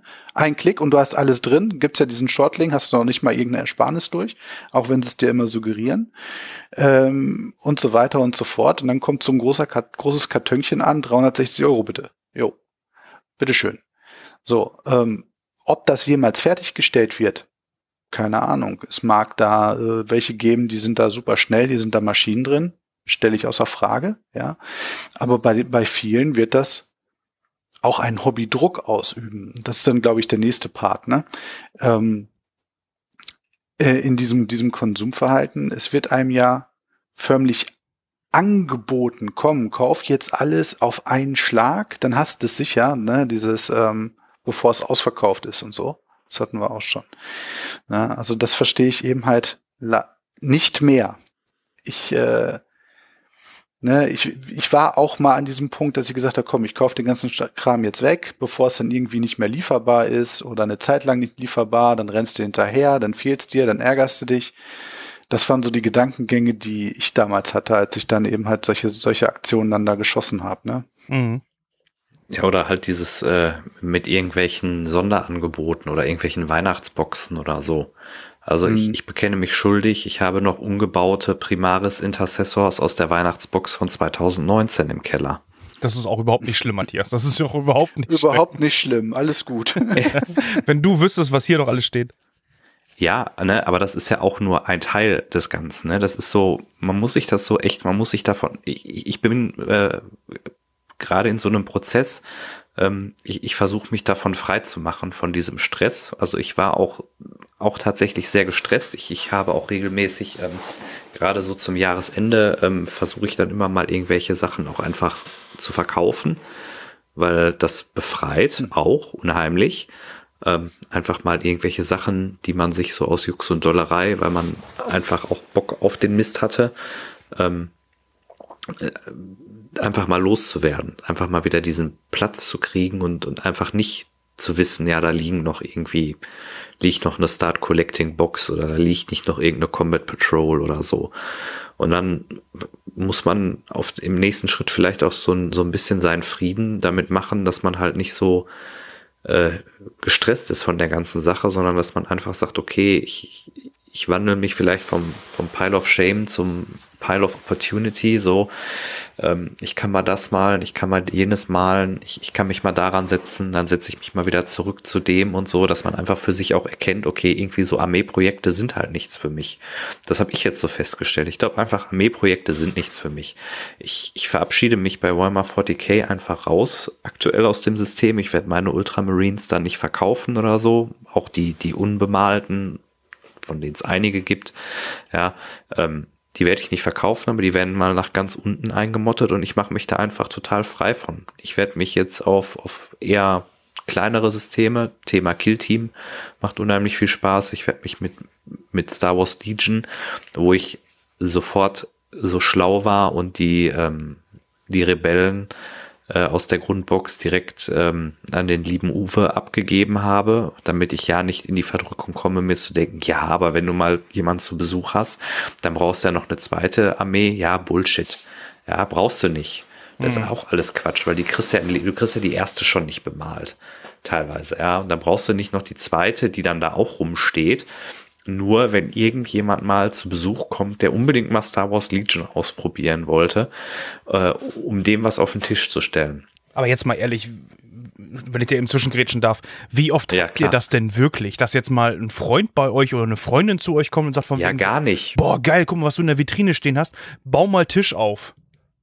Ja, ist Bullshit, klar. Es ist, ist natürlich der totale Bullshit. Ne? Und wenn sich jemand ankündigt und, und sagt, mein Nachbar sagen würde, so, boah, Matthias, hier Star Wars Legion und so, da hätte ich mal total Bock drauf, dann müsste ich nur den Fabian anrufen, der 15 Minuten mit dem Auto von mir am anderen Ende von Mülheim wohnt, der die komplette Produktpalette bemalt im Schrank stehen hat, müsste ich nur mit meinem Ford darüber gondeln, einmal den Kofferraum aufmachen, mitnehmen Fabian und dann einladen. aufbauen. ja, oder den Fabian noch mit einladen oder so, oder den Kumpel mit zu Fabian nehmen. Ne, das ist ja eigentlich total bescheuert. Ne? Du, man, man konstruiert künstlich irgendwelche Szenarien, die im Leben nicht auftreten. Ja, und unter Corona noch viel weniger. Ja, in den letzten zwei Jahren. Das, das, da kann ich nur sagen, das kommt drauf an. Und zwar, also äh, ich bin ja nun einer, der im historischen Tabletop ver verordnet ist. Und wie es mit dem historischen Tabletop eben halt so ist, da gibt es mindestens so viele verschiedene Epochen und Armeen, äh, wie es andere Tabletops vielleicht noch gibt. So. Und äh, ich habe mir im historischen Bereich, habe ich es mir tatsächlich zur Angewohnheit gemacht, zwei Armeen zu besitzen.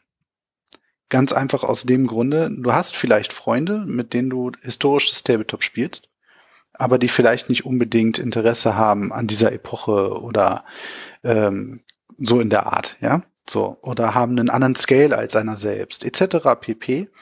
Und ähm, dann kann man eben halt sagen, hey komm, ich habe heute mal Bock auf eine Lust, äh, auf eine Runde, ähm, keine Ahnung, amerikanischer Unabhängigkeitskrieg. Ich habe da so zwei Armeen, hast du Bock zu spielen? Ja klar, ich komme rum. So, das Spielsystem ist vielleicht das gleiche, aber du hast eben halt dann äh, die entsprechenden passenden Minis dann eben halt da und kannst dein Szenario spielen und so weiter.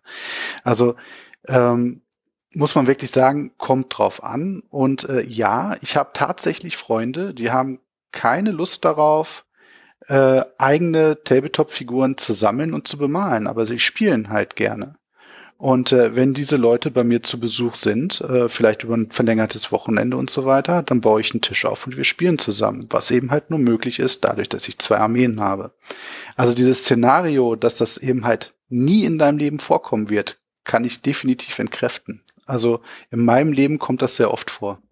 Aber ist das nicht ein bisschen bequem, jetzt mal eben so da reingegrätscht? Für die Leute natürlich. Äh, du machst sie die Arbeit ähm, und die sind einfach nur Nutznießer, so nach dem Motto, obwohl sie gerne selber spielen? Mm, empfinde ich so nicht, nein. Okay. Tatsächlich nicht. Ähm, dafür bin ich dann äh, Nutznießer bei anderen Dingen, die ich eben halt äh, ungern mache, äh, wo diese Personen mir dann vielleicht weiterhelfen oder was auch immer. Mhm, also okay. ähm, ich sehe das nicht, und das sind eben halt langjährige Freunde, ne? Das sind keine, die kenne ich irgendwie seit einem halben Jahr oder so, wo ich das Gefühl habe, die nutzen mich aus. Sondern das sind halt Leute, die fest in meinem Umfeld und auch familiären Umfeld eben halt vorhanden sind.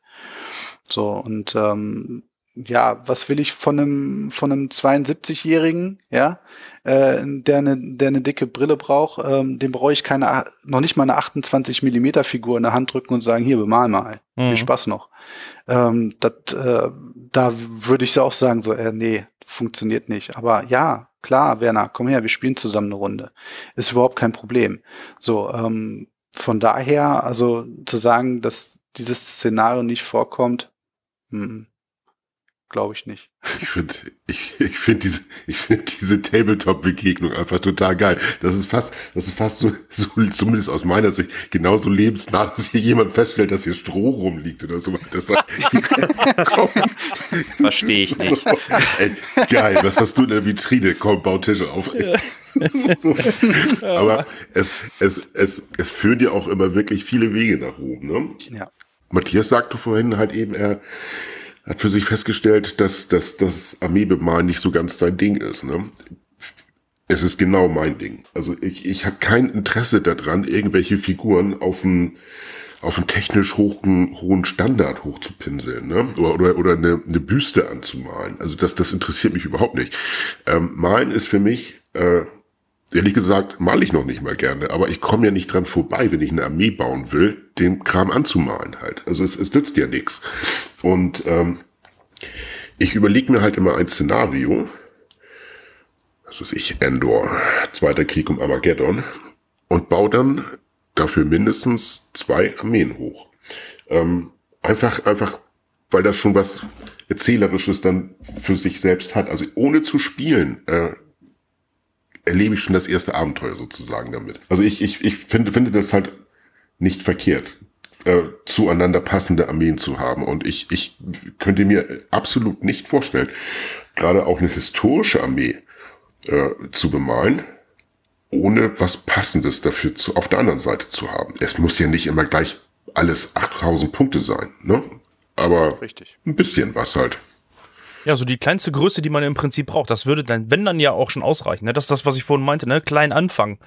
Ne? Das würde ja im Prinzip schon, schon, schon reichen. Was ähm, ich jetzt vorhin noch meinte, so als, als Tipp, so vielleicht für da draußen, ähm, einfach mal aufräumen. Und zwar nicht einfach nur seine Sachen von A nach B stellen, sondern das Ganze vielleicht mit ein bisschen System aufräumen. Und ähm, wir gehen jetzt mal in eine ganz, ganz andere Ecke. Ich weiß nicht, ob euch Marie Kondo etwas sagt. Oha. Oha. Marie Kondo. Marie Kondo, ja. Warte, ist das die, die, die im Fernsehen aufgeräumt hat? Ja, genau. Was empfindest du bei diesem Pullover, Hauke? So sieht's aus. Bringt er dir Freude? Ja. Ne? So tief will ich in diese Geschichte gar nicht reingehen. Jezorn, Jezorn. Genau. Hat die nicht auch Bücher geschrieben? Ja, ja, die hat auch Bücher geschrieben. Ja, ja. Also, Ja, äh, ja, irgendwas, ja, ja, irgendwas macht die richtig, hätte ich jetzt fast gesagt. Also man kann mit Aufräumen Geld verdienen. Was ich nur sagen möchte, ist von wegen so, ähm, vielleicht hilft es manchmal einfach auch, seinen gesamten Hobbykram einfach mal vernünftig zu sortieren ähm, und dort einfach mal wirklich zu überlegen, von wegen, brauche ich das wirklich? Spiele ich damit im nächsten Jahr oder in den nächsten zwei Jahren vielleicht noch? Ähm, habe ich damit schon gespielt und es hat mir Freude bereitet, dann behalte ich's. Habe ich es gespielt und es bockt sich nicht, wieso behalte ich das dann und verkaufe es nicht? Weil du sammelst, Piwi. Genau, das ist halt auch die Frage, wo man sich so einordnet. Bin ich halt einfach am Ende des Tages ehrlich zu mir selbst und sage, ich sammle den Scheiß halt einfach? Ähm, oder sage ich halt auch mal ganz klar, so, ich habe, weiß ich jetzt nicht, ich habe wie bei mir jetzt 40k mehrmals ausprobiert und ich finde 40k einfach, ich finde es kacke.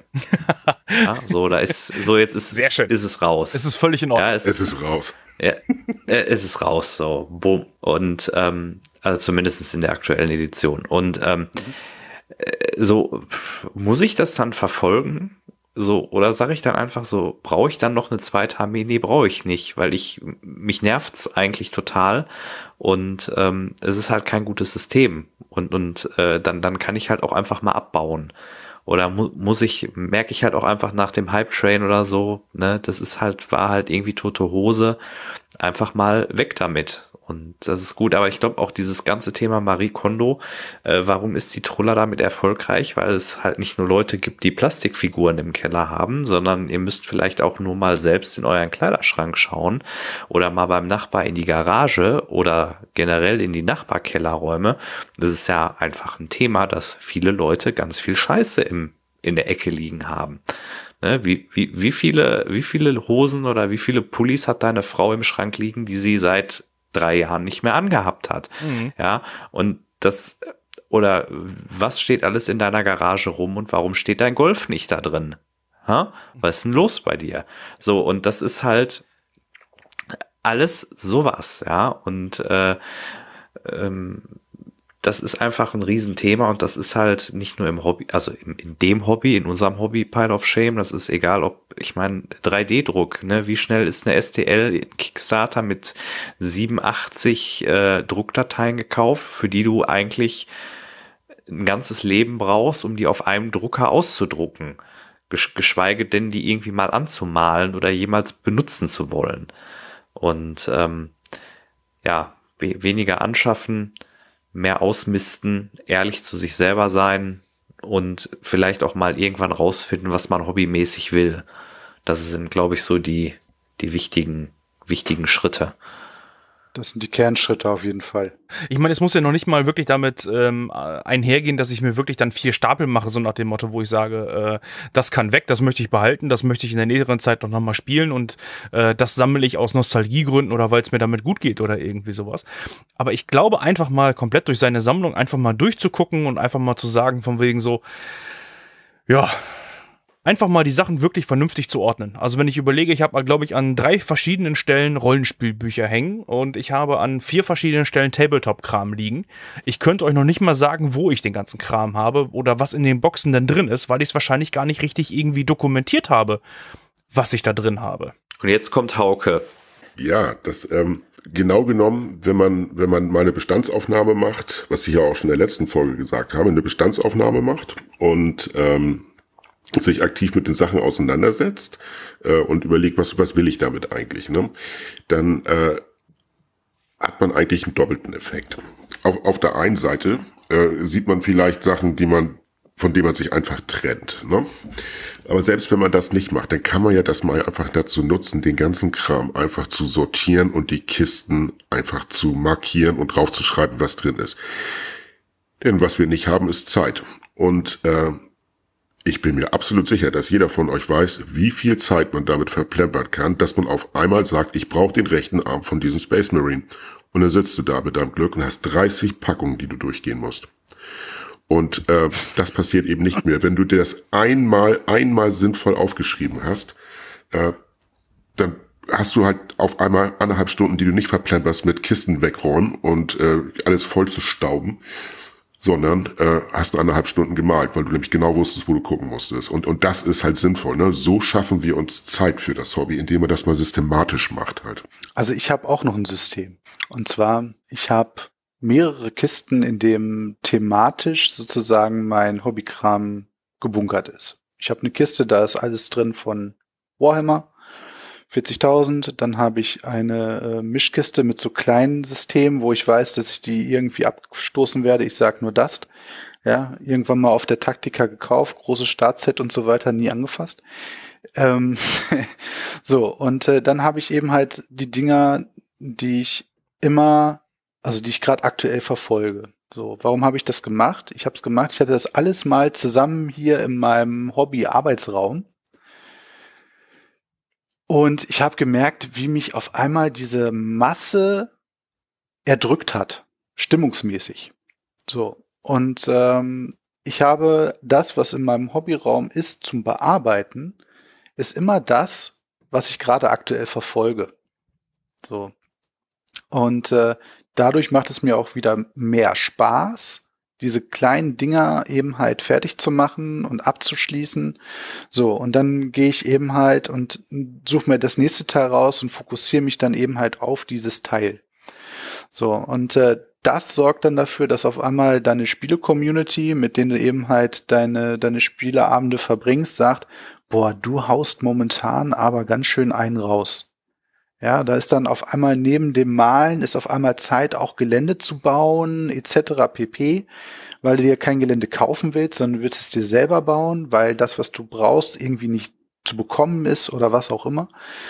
So, und ähm, ja, wie du schon sagtest, also man verplempert weniger Zeit.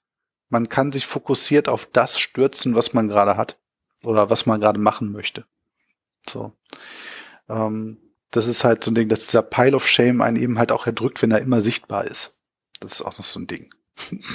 Ich finde diesen Pile of Shame, da stechen ja einige Spiele durchaus vor und wahrscheinlich auch das eine oder andere Lieblingsspiel, was man natürlich dann auch des Öfteren spielt. Und ich denke mal, man muss auch einfach mal seine Komfortzone verlassen und einfach mal vielleicht auch mal die Spiele mal rausholen, die man in seinem Pile of Shame hat, wo man eigentlich gar nicht so dran gedacht hat, dass es A da liegt, B, dass man das irgendwie noch schon mal gespielt hätte oder sowas.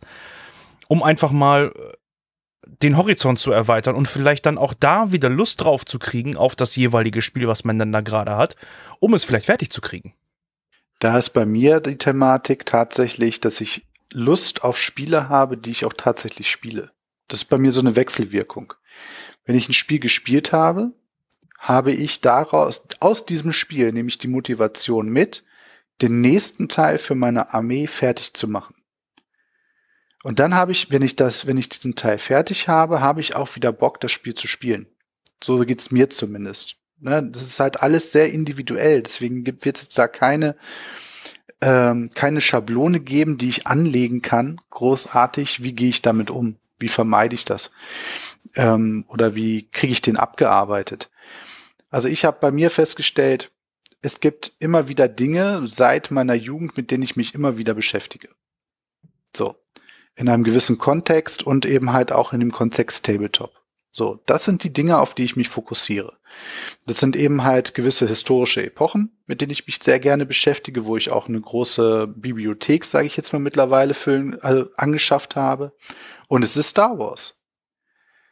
Star Wars war die ganze Zeit überschattet bei mir so ein bisschen mit mit 40.000 und ähm, ja, das gab's mal, war ganz cool und so weiter und so fort und die Filme gucke ich mir auch immer gerne wieder an. Und dann habe ich mir irgendwann diese diese Box hervorgekramt, die ich mir damals bei Release gekauft habe. Die lag stand bei, seit Release bei mir im Regal. und wurde, war nie angepackt. Da waren noch nicht mal die Figuren richtig zusammengebaut. So. Und äh, die mache ich jetzt eben halt einfach fertig, weil ich sage, ey, Star Wars war schon immer irgendwie dein Ding. Du machst jetzt ein, die Rebellentrupp fertig, der drin ist, kaufst dir eben halt die ikonischen Hauptfiguren wie Han Solo und so, kaufst dir noch dazu. Ob du jetzt spielst oder ist egal, aber du machst sie so fertig, dass du sie in eine Vitrine stellen kannst und dass sie gut aussehen. Das gleiche machst du dann noch mit der Imperiumsseite und dann hast du eine schöne Star Wars Sammlung. Da geht's mir gar nicht um das Spiel, sondern um den Franchise tatsächlich. ja. Mhm. Das ist, äh, Star Wars hat echt ein herausstellen, äh, herausstechendes, ne, ja, eine herausstechende Stellung. Ähm, ich gestehe, dass ich mir im Prinzip von Legion auch eigentlich fast alles gekauft habe, was es gibt. Und zwar alle vier Armeen. Also ich habe nicht alles, aber, aber echt eine Menge. Diese Sachen sind aber im Gegensatz zu Games Workshop Sachen, die irgendwo im Gussrahmen noch stecken und irgendwie eingebuddelt sind oder tausend Millionen anderen Kartons, stehen diese ganzen Sachen zusammengebaut in der Vitrine. Sie sind nicht bemalt, aber sie stehen zusammengebaut in der Vitrine. Und ich erwische mich häufig, dass ich mich davor setze und mir die Figuren einfach nur angucke. Und das ist genau wie du sagst, Daniels. Es ist alleine schon das Franchise. Und ähm, das mich einfach glücklich macht. Und da auch, wo ich dann auch sagen muss, obwohl ich es überhaupt nicht spiele, sammle ich es. Und ich würde diese Sache auch nicht zum Pile of Shame zählen. Denn ganz am Anfang Matthias Gedanke, äh, diese Sachen werden ja benutzt. Sie werden angeguckt, sie bereiten mir Freude, ne? Nicht Kopfschmerzen, sondern Freude. Und ich freue mich darauf, die in ein oder zwei Jahren, wenn ich diesen ganzen anderen Schamott hier mal fertiggestellt habe, die dann in vernünftiger Ruhe anzumalen. Und ich bin mir auch ganz sicher, dass das zügig geht, da da nicht 800 Millionen Details drauf sind auf den Figuren. Ne? Ja, da freue ich das mich. Das muss man auch einfach mal, einfach mal so sagen, das Star Wars Design ist echt dankbar für ein Tabletop. Also ich habe ja die, äh, die Guten, also das Imperium und gute Einstellung.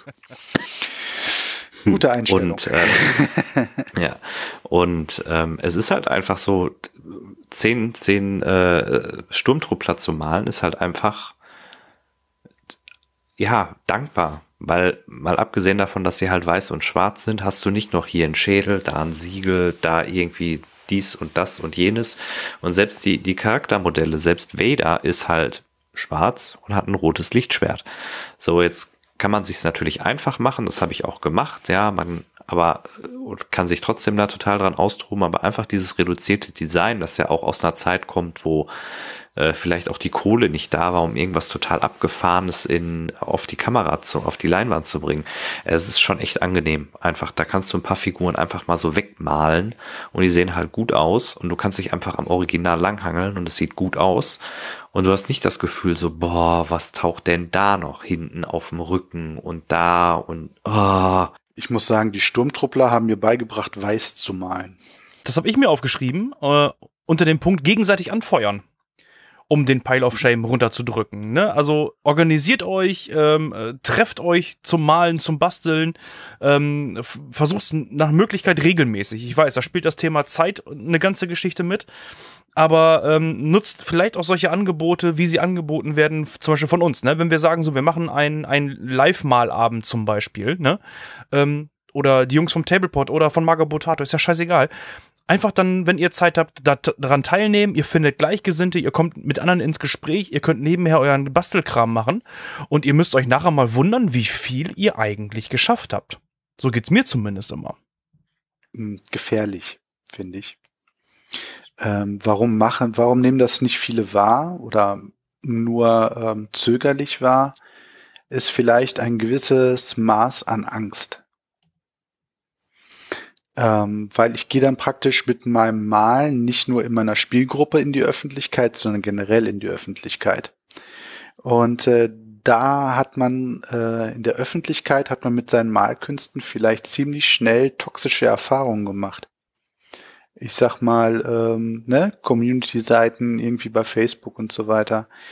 Ähm, da sind ja ganz viele Leute immer schnell dabei, einen immer nur zu kritisieren, statt positiv zu aufzuholen, abzuholen, sage ich jetzt mal, ne? Und irgendwie äh, sich ganz normal konstruktiv zu, zu unterhalten, sondern wirst oft einfach nur schnell abgefertigt. Und da sind, denke ich, viele irgendwie gebrannte Kinder, warum dann eben halt solche Veranstaltungen, die motivieren können, wenn sie vernünftig durchgeführt werden, ähm, nur zögerlich bis gar nicht wahrgenommen werden. Das ist so ein Gedanke, den ich dazu habe. Mhm. Leute, die anderen Leuten sagen, ihre Figuren sehen scheiße aus, die sind einfach schlecht erzogen und haben nichts gerafft. Ich, ich würde gerne noch mal äh, einen Schritt zurückgehen. Pivi sprach ja eben an, dass es äh, der eigenen Motivation förderlich ist, Fortschritte auch mit anderen zu teilen. Ähm, mhm. Daniel sagte halt auch, ja, gerade soziale Medien sind da nicht unbedingt immer förderlich, weil man vielleicht ungewollt auch äh, völlig ungerechtfertigte Kritik erntet. Ähm, ich würde gerne nochmal anschließen an, an einen Punkt, den Daniel ansprach. Und zwar, Daniel sagte, dass er sein Arbeitstisch oder sein Arbeitsbereich halt nicht mit tausend Sachen überfrachtet, sondern zielgerichtet das auf dem Tisch hat, was er eigentlich bearbeitet oder in der Nähe hat zumindest. Ne? Ähm, ich glaube, wenn man ernsthaft etwas bemahnen will, etwas fertig machen möchte, ähm, dann ist es zwingend erforderlich, einen verfügbaren Arbeitsplatz zu haben, der jederzeit zugänglich ist und der so gestaltet sein sollte, dass man dort ähm, konzentriert auch arbeiten kann und sich nicht die ganze Zeit ablenkt, indem man 30 andere Sachen anguckt oder äh, seine Farben durch, durchgeht, sondern äh, genau weiß, was man, was man will, wenn man sich an den Arbeitstisch setzt. Wie, wie handhabt ihr das?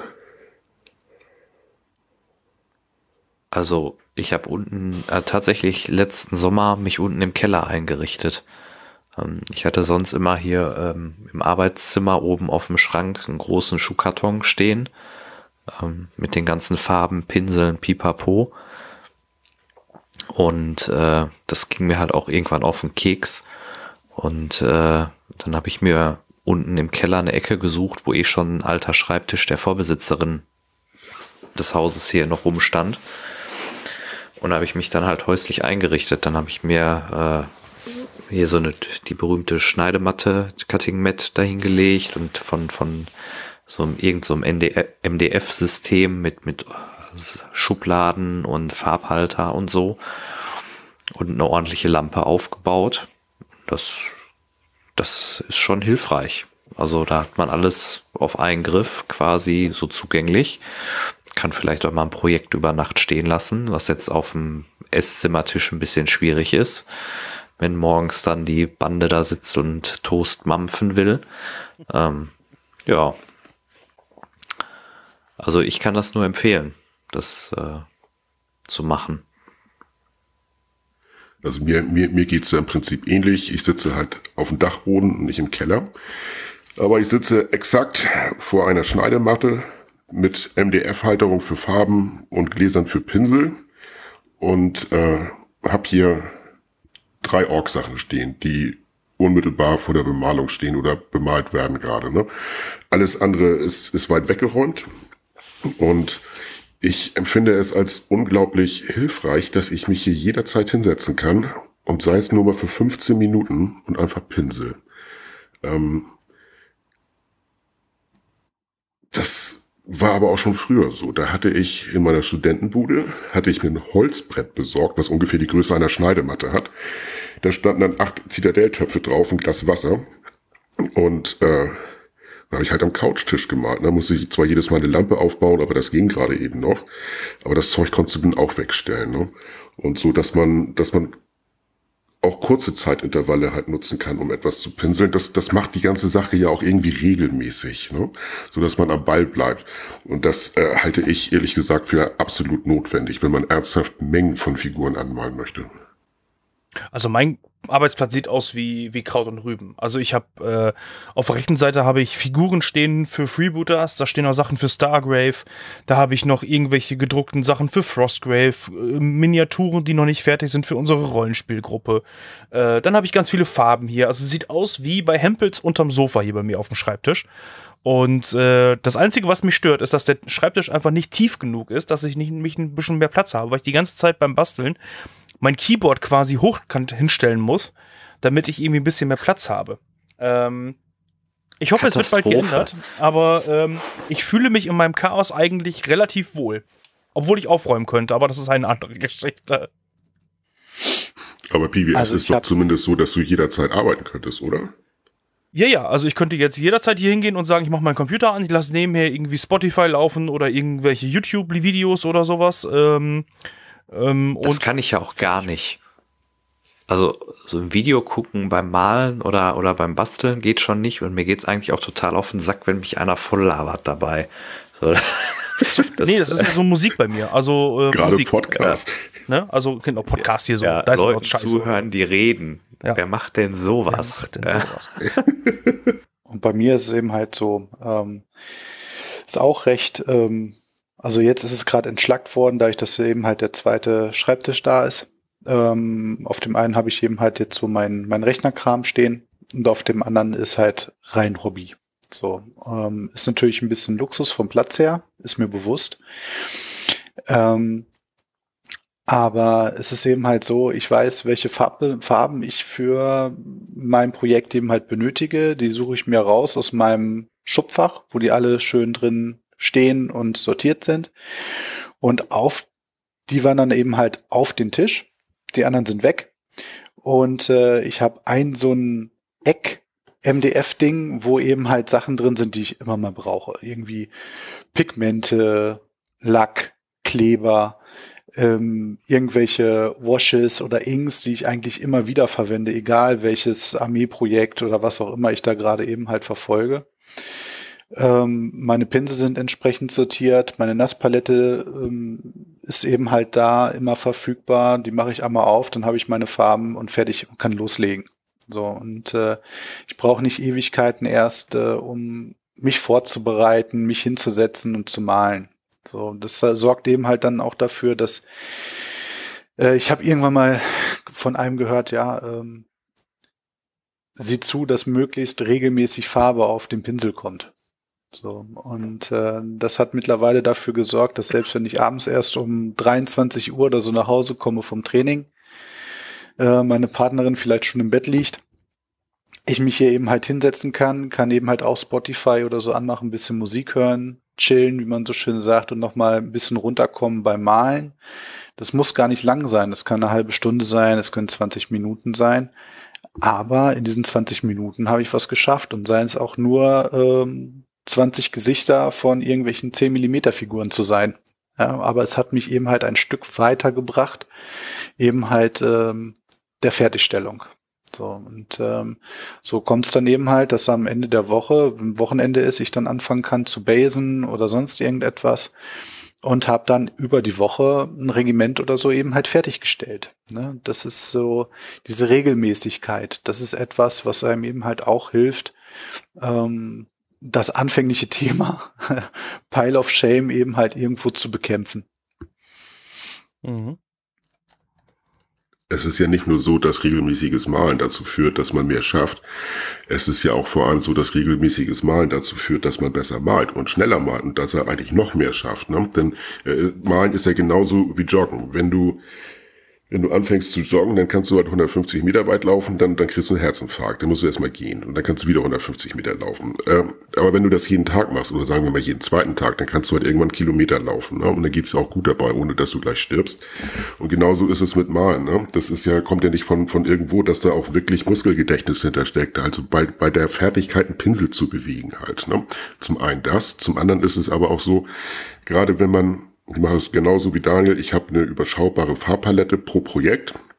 Und dass man diese Farben auch sehr viel besser einzuschätzen weiß, dann halt, wie deckt die, wie ist die Konsistenz, wie muss ich die anmischen. All das ist Übungssache. Und äh, wenn man es regelmäßig macht, dann, dann kann man es einfach besser und schneller halt. Ne? Und vor allem, man sieht auch Fortschritte und hat dann auch wiederum mehr Lust. Man ist halt nicht, nicht, nicht genervt, weil alles überhaupt nicht funktioniert, sondern man kommt halt vorwärts. Bestes Beispiel heute Morgen. Ich dachte, ich spinne. Ich wollte zur Arbeit. Dann hatte meine Frau angefangen, ihre Haare zu ölen. Und das Badezimmer besetzt. Und dann saß ich da und dachte, sie, was mache ich denn jetzt die nächsten 20 Minuten? Dann hätte ich natürlich im Internet verplempern können, aber ich habe mich dann stumpf hier oben hingesetzt, einen Pinsel in die Hand genommen und einen Orkpanzer halt mehr oder minder weiter anbemalt. Und das war auch 20 Minuten. War super. Ich habe das Teil heute Nachmittag dann fertigstellen können halt. Ne? Und äh, sowas finde ich ist, ist im Prinzip der beste Weg, damit umzugehen. Pivi, du hattest ja auch schon letztes Mal angesprochen, ne? Bei Thema effizientes Malen. Das ist ja im Prinzip jetzt genau das gleiche, nur andersrum, dass du damals vom Batch Painting maltest, äh, sprachst, ne? Mhm. Dass, dass man halt nicht eine Figur anmalt, sondern irgendwie standardmäßig halt so fünf, 28 Millimeter Figuren dass du halt eine Farbe auf eine Figur aufträgst, stellst sie zur Seite, dann trocknet die, machst bei der nächsten weiter und so weiter und so fort. Und wenn du bei der letzten bist, kannst du die nächste Farbe nehmen und mit der ersten wieder anfangen. So. Das ist ja im Prinzip, das gehört ja zum guten Ton für Leute, die Armeen bemalen.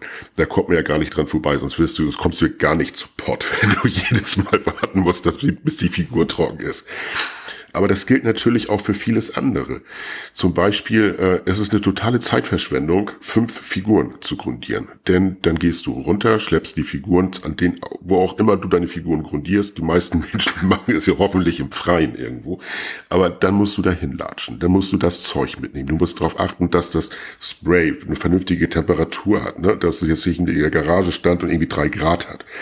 Äh, du musst vielleicht noch ein noch einen Farbschutz aufbauen, damit nicht, nicht alles vollgepüstert wird, sondern das Zeug irgendwie in der Pappe kleben bleibt. Ne? Äh, du musst das Zeug auf, auf, auf Korken stecken oder wie auch immer du deine Grundierhilfe nimmst. Das ist ein riesen, riesen Aufriss, um drei Minuten lang zu grundieren. Und da macht es Sinn, nicht fünf Figuren zu grundieren, sondern wirklich das, was man in absehbarer Zeit bemalen möchte, alles auf einen Schlag. Und auch dort kann man echt wirklich Zeit sparen, weil du den ganzen Logistikteil halt trotzdem nur ein einziges Mal hast, egal wie viele Figuren du grundierst. Und äh, ähnlich aus meiner Sicht Base-Gestaltung. Ähm, wenn ich mich hier an meinen Schreibtisch setze und äh, Bases besande, dann muss ich danach das ganze Zimmer im Prinzip aufräumen und den ganzen Sand überall wegfegen und so weiter und so fort. Es bringt dich aus dem Malfluss heraus. Du machst auf einmal was völlig anderes, was ja auch mal gewollt sein kann. Aber für fünf Figuren ist der ganze Aufriss zu viel. Und darum macht es Sinn, halt Figuren anzusammeln, die man dann auf einmal, wo man auf einmal die Base-Gestaltung durchführt. Oder mit Aufklebern, genau das gleiche. Ne? Musst du Wasser rausholen, Decal, Fixer, alles mögliche, was man da so für braucht, um das bei einer Figur zu machen. Das ist Zeitverschwendung. Und zwar äh, so wurde auch der Gedanke geboren, dass ich, dass ich Matthias gefragt habe, ob er mitmachen möchte. Denn die Jungs vom Tablepot haben unter anderem über Arbeitsprojekte gesprochen. Und das scheint mir auch sinnvoll zu sein, hier nochmal kurz Licht drauf zu werfen, wie man eigentlich ein Arbeitsprojekt auswählt und äh, welchen Umfang das haben sollte und so weiter und so fort. Und das andere ist, äh, Hand aufs Herz, welchen Malstandard fordere ich mir eigentlich selbst ab? Oh, Malstandard. Das ist ein, das ist ein Thema.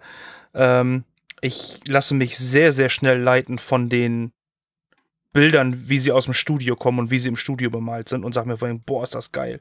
Und ich ertappe mich immer regelmäßig selber dabei, dass die Armee dann nachher nicht so aussieht, wenn ich sie bemalt habe, wie ich sie nachher dann äh, oder wie ich sie vorher im Studio gesehen habe. Da ertappe ich mich regelmäßig. Ach, echt jetzt? Bei. Ja, da ertappe ich mich wirklich regelmäßig bei, dass ich dann auch ein bisschen ähm, ja, sauer ist das falsche Wort. Aber ich bin dann enttäuscht über mich selber, dass ich mir sage, boah, das hätte aber auch besser hingekriegt. Obwohl die Figuren nicht scheiße aussehen. Aber trotzdem habe ich immer irgendwie das Gefühl, da hättest du noch mehr rausholen können. Ja, ich meine, klar kannst du immer mehr rausholen. Ähm, aber da kommst du an den Punkt, du verdienst ja dein Geld offenkundig nicht damit, indem du Figuren bemalst. Ja, und äh, das sind ja auch einfach so Sachen, ne? Übung, Übung, Übung. Und wenn du das professionell machst und das jeden Tag machst, dann äh, sehen deine Figuren halt auch anders aus. Ähm, ich bin da inzwischen total von weg, so mich damit zu vergleichen. Ich habe halt auch einfach festgestellt, dass Figuren, die vielleicht reingezoomt auf dem Handy total mittelmäßig aussehen, immer noch tausendmal besser auf dem Tisch aussehen als was Graues oder was Silbernes. Und ähm, dass man, wenn du auf dem, am Tisch stehst und quasi auf einen Meter weg dann siehst du das auch nicht mehr, ob da das Edge Highlight knackig scharf gesetzt ist und ob du da geglazed hast und die äh, Servorüstung in 27 Farbverläufen von dunkelblau auf mittelblau auf hellblau geht oder so. Nee, merkst du dann gar nicht. Mhm. Dann kann man da auch seinen Frieden machen. Und dann sind wir wieder beim Thema Effizienz. Wenn ich mich vorher darauf committe, ich habe eine Farbpalette, die vielleicht übersichtlich ist. Ja, ich habe blaue Rüstung, irgendwie schwarze Waffe und irgendein Detail in einer anderen Farbe, was gut passt und dann hebe ich noch ein paar andere Sachen damit ab und habe vielleicht fünf, sechs Farben, die ich auf so einen Squad nehme, dann, dann reicht das auch. Ja, dann brauche ich, brauche ich nicht so viel und es sieht trotzdem gut aus. Ja, wahrscheinlich mache ich mir persönlich da auch immer so selber den Stress, ne? Dass ich viele Farben hier habe und ähm, irgendwie habe ich immer auch so das Problem mit, oh, wie, wie, welche, wie willst du das Farbschema umsetzen? Ne, was, was ich dann habe. Und welche Farben nimmst du und welche Farben passen gut zusammen. Und dann habe ich plötzlich hier nicht nur zehn Farben stehen, sondern es sind nachher dann irgendwie 20 oder irgendwie sowas, die ich dann genommen habe. Vielleicht muss ich mich wirklich, das was Hauke mal einfach sagte, so dieses minimalistische, ne? Also wirklich eine Farbpalette setzen. So, und aus den Farben ballerst du dir jetzt was zusammen und äh, auf geht's, ne? Grundlegend muss man sich doch erstmal drüber klar werden, was kann ich, was will ich. Und ähm, wenn man überhaupt nicht malt, keine Erfahrung hat und keine Übung hat, dann wird das nichts mit ähm, mit Heavy Metal Studio. Ne? Das, das, das geht halt nicht. Ähm, man ist halt noch kein Meister vom Himmel gefallen. Das, das muss einem einfach klar sein. Und ähm, ich persönlich halte es für sinnvoll, wenn man, wenn man sich erstmal darauf konzentriert, Malen ist jetzt nicht Selbstzweck, sondern man hat den Ansatz, so wie ich vielleicht, man möchte eine Armee fertigstellen dann ist es aus meiner Sicht vernünftig, sich erstmal darauf zu konzentrieren, Grundfarben aufzutragen, dass die gesamte Armee irgendwie einen vernünftigen Standard hat. Und so, dass man halt sagt, okay, das ist gut, damit kann ich vernünftig spielen, ohne dass ich mich schäme halt. Ne? Das, das gefällt mir so. Und da kommen wir in den, zum, im Prinzip zum, zum, zum sogenannten Pareto-Prinzip, ne? wo ja gesagt wird, dass mit ähm, 80 Prozent eines Resultats häufig mit 20 Prozent des Einsatzes erzielt werden kann, aber die verbleibenden 20 Prozent, die Exzellenz sozusagen, dann 80 Prozent des Einsatzes auffrisst. Und das kann man nicht durchziehen, wenn man begrenzt Zeit hat und viele Figuren anmalt. Das geht eben nicht. Das ist die Quadratur des Kreises. Und dann muss man sich einfach schlicht und ergreifend damit abfinden, dass die Figuren dann nicht so gut werden, wie sie bemalt werden könnten, wenn man sich mehr Zeit nehmen würde. Das geht nicht. Und ähm, man muss sich frei machen, dass es einen Zwang zur Exzellenz gibt im eigenen Hobby. Ähm, wir machen das hier, um Spaß bei der Sache zu haben.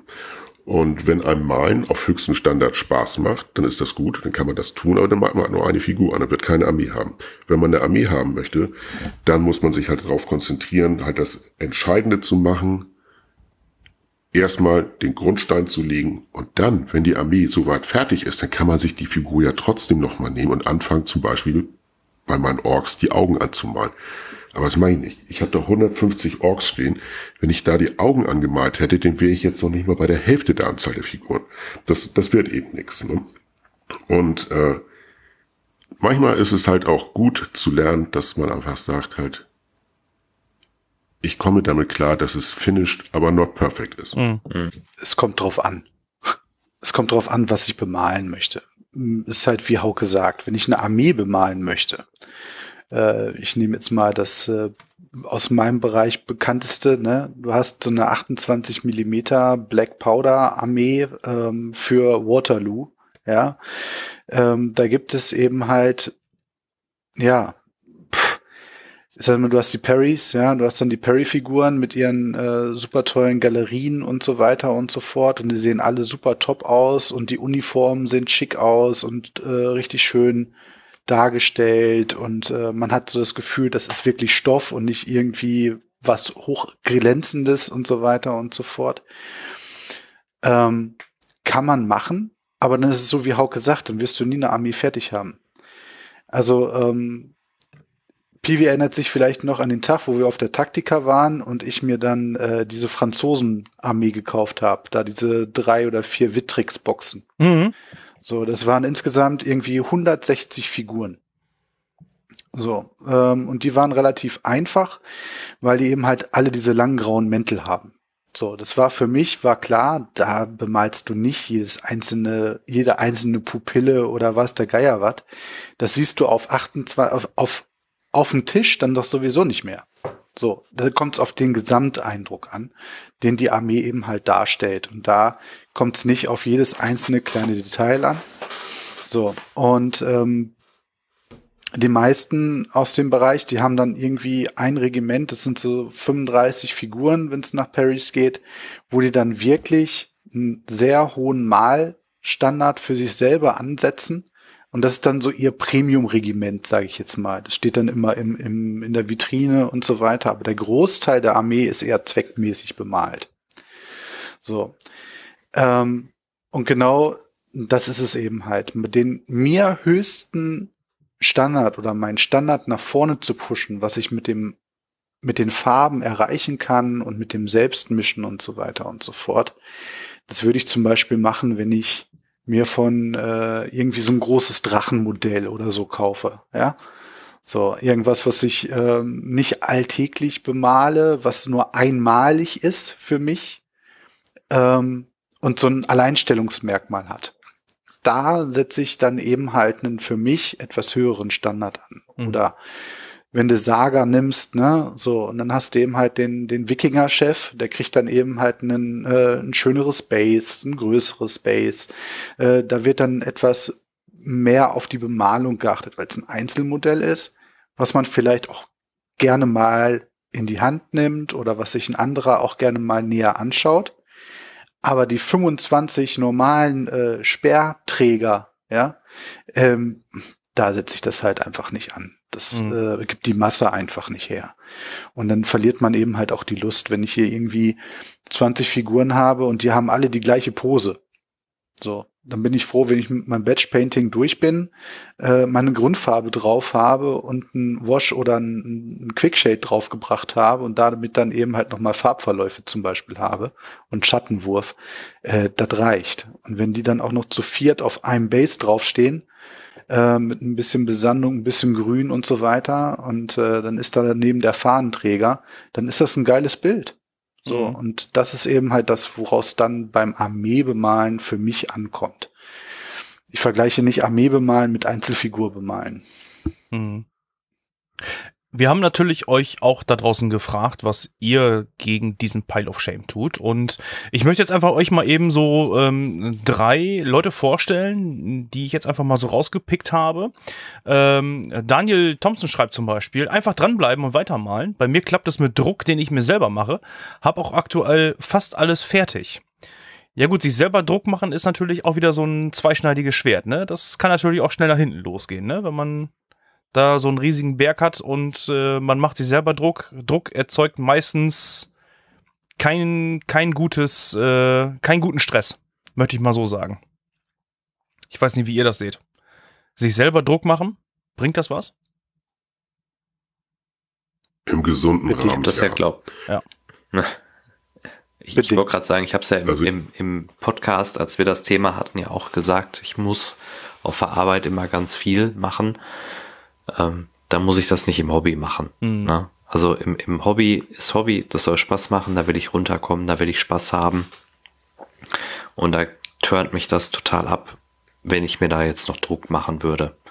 So, da, nee, also ist jetzt, aber das muss ja jeder für sich selber wissen. Also, das ist, äh, wenn es hilft, sich eine Deadline zu setzen, ähm, und das funktioniert, ja, warum nicht, ne? Aber am Ende des Tages soll es ja Spaß machen.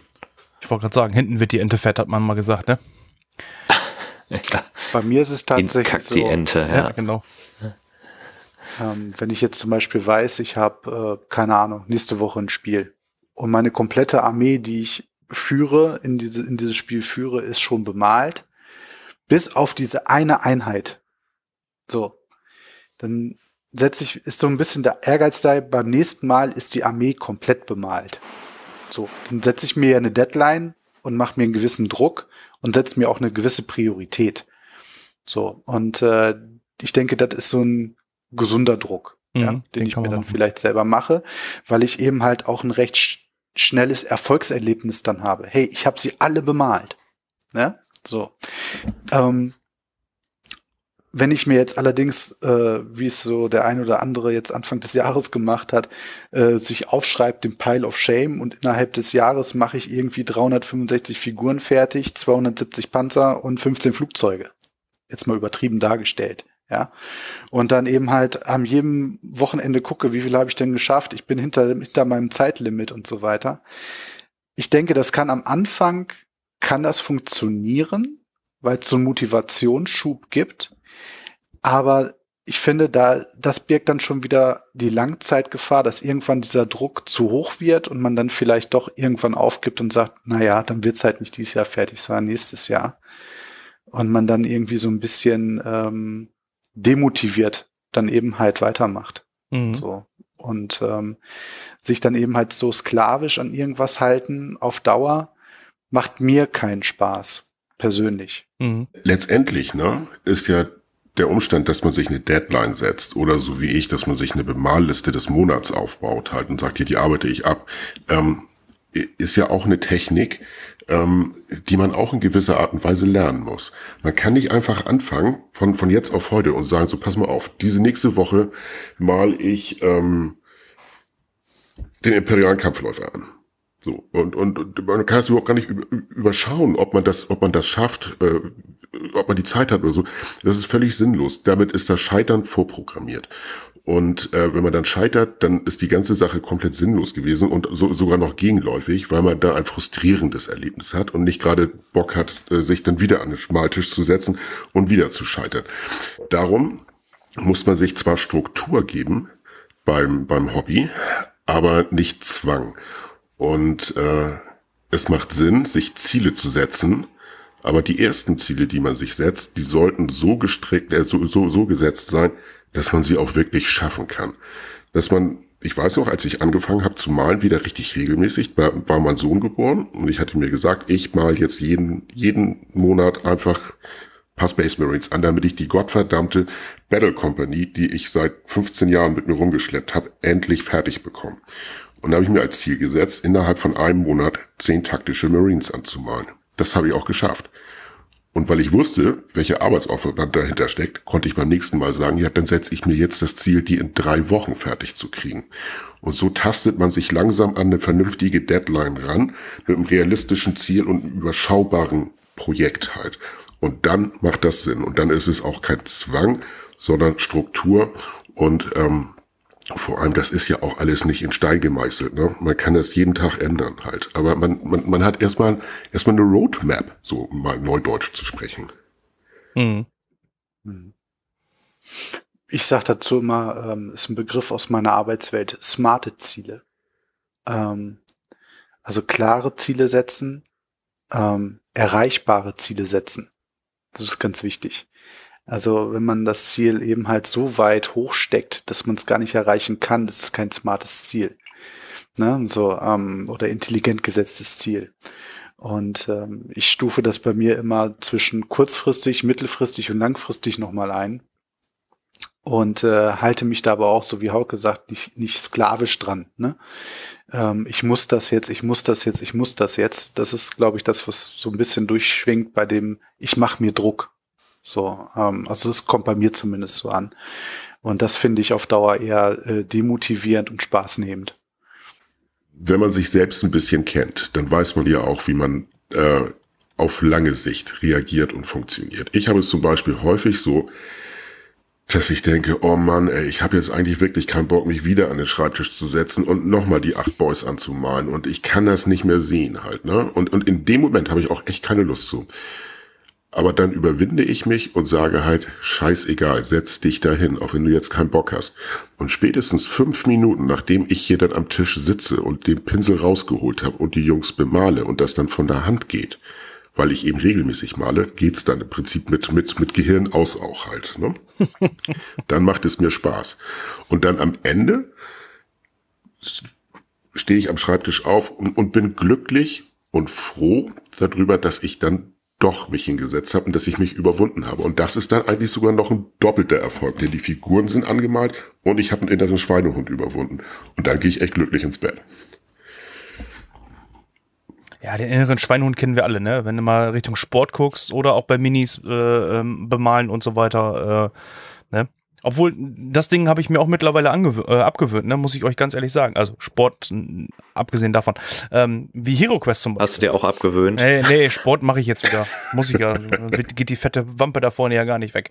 Ähm, nein, dass ich zum Beispiel einfach mir auch sage, okay, das Spiel, das ist jetzt einfach für mich ein, ein Brettspiel, obwohl da Figuren bei sind, die ich bemalen könnte, die bleiben aber so, wie sie sind. Wie zum Beispiel, ich habe hier Decent. Ich habe immer gesagt, boah, geil, Decent, super cool die, ich, die Figuren sehen gut aus. Willst du die bemalen?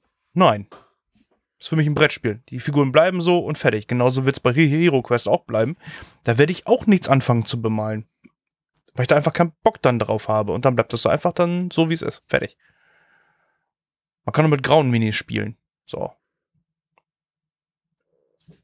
Bitte. Meine äh? Meinung. Ein eine andere Geschichte, die ich euch noch eben kurz vorlesen wollte, äh, kommt von Sebastian Schmidt. Und der hat gesagt, von wegen, ähm, er hätte da nur einen Trick. Eine Frau, die immer schimpft, dass ich zu viel Zeug habe und wir keinen Platz. Ihr, ihre Order war, erst alles wegmalen und dann darf ich was Neues haben. Aber ich glaube, sie lügt.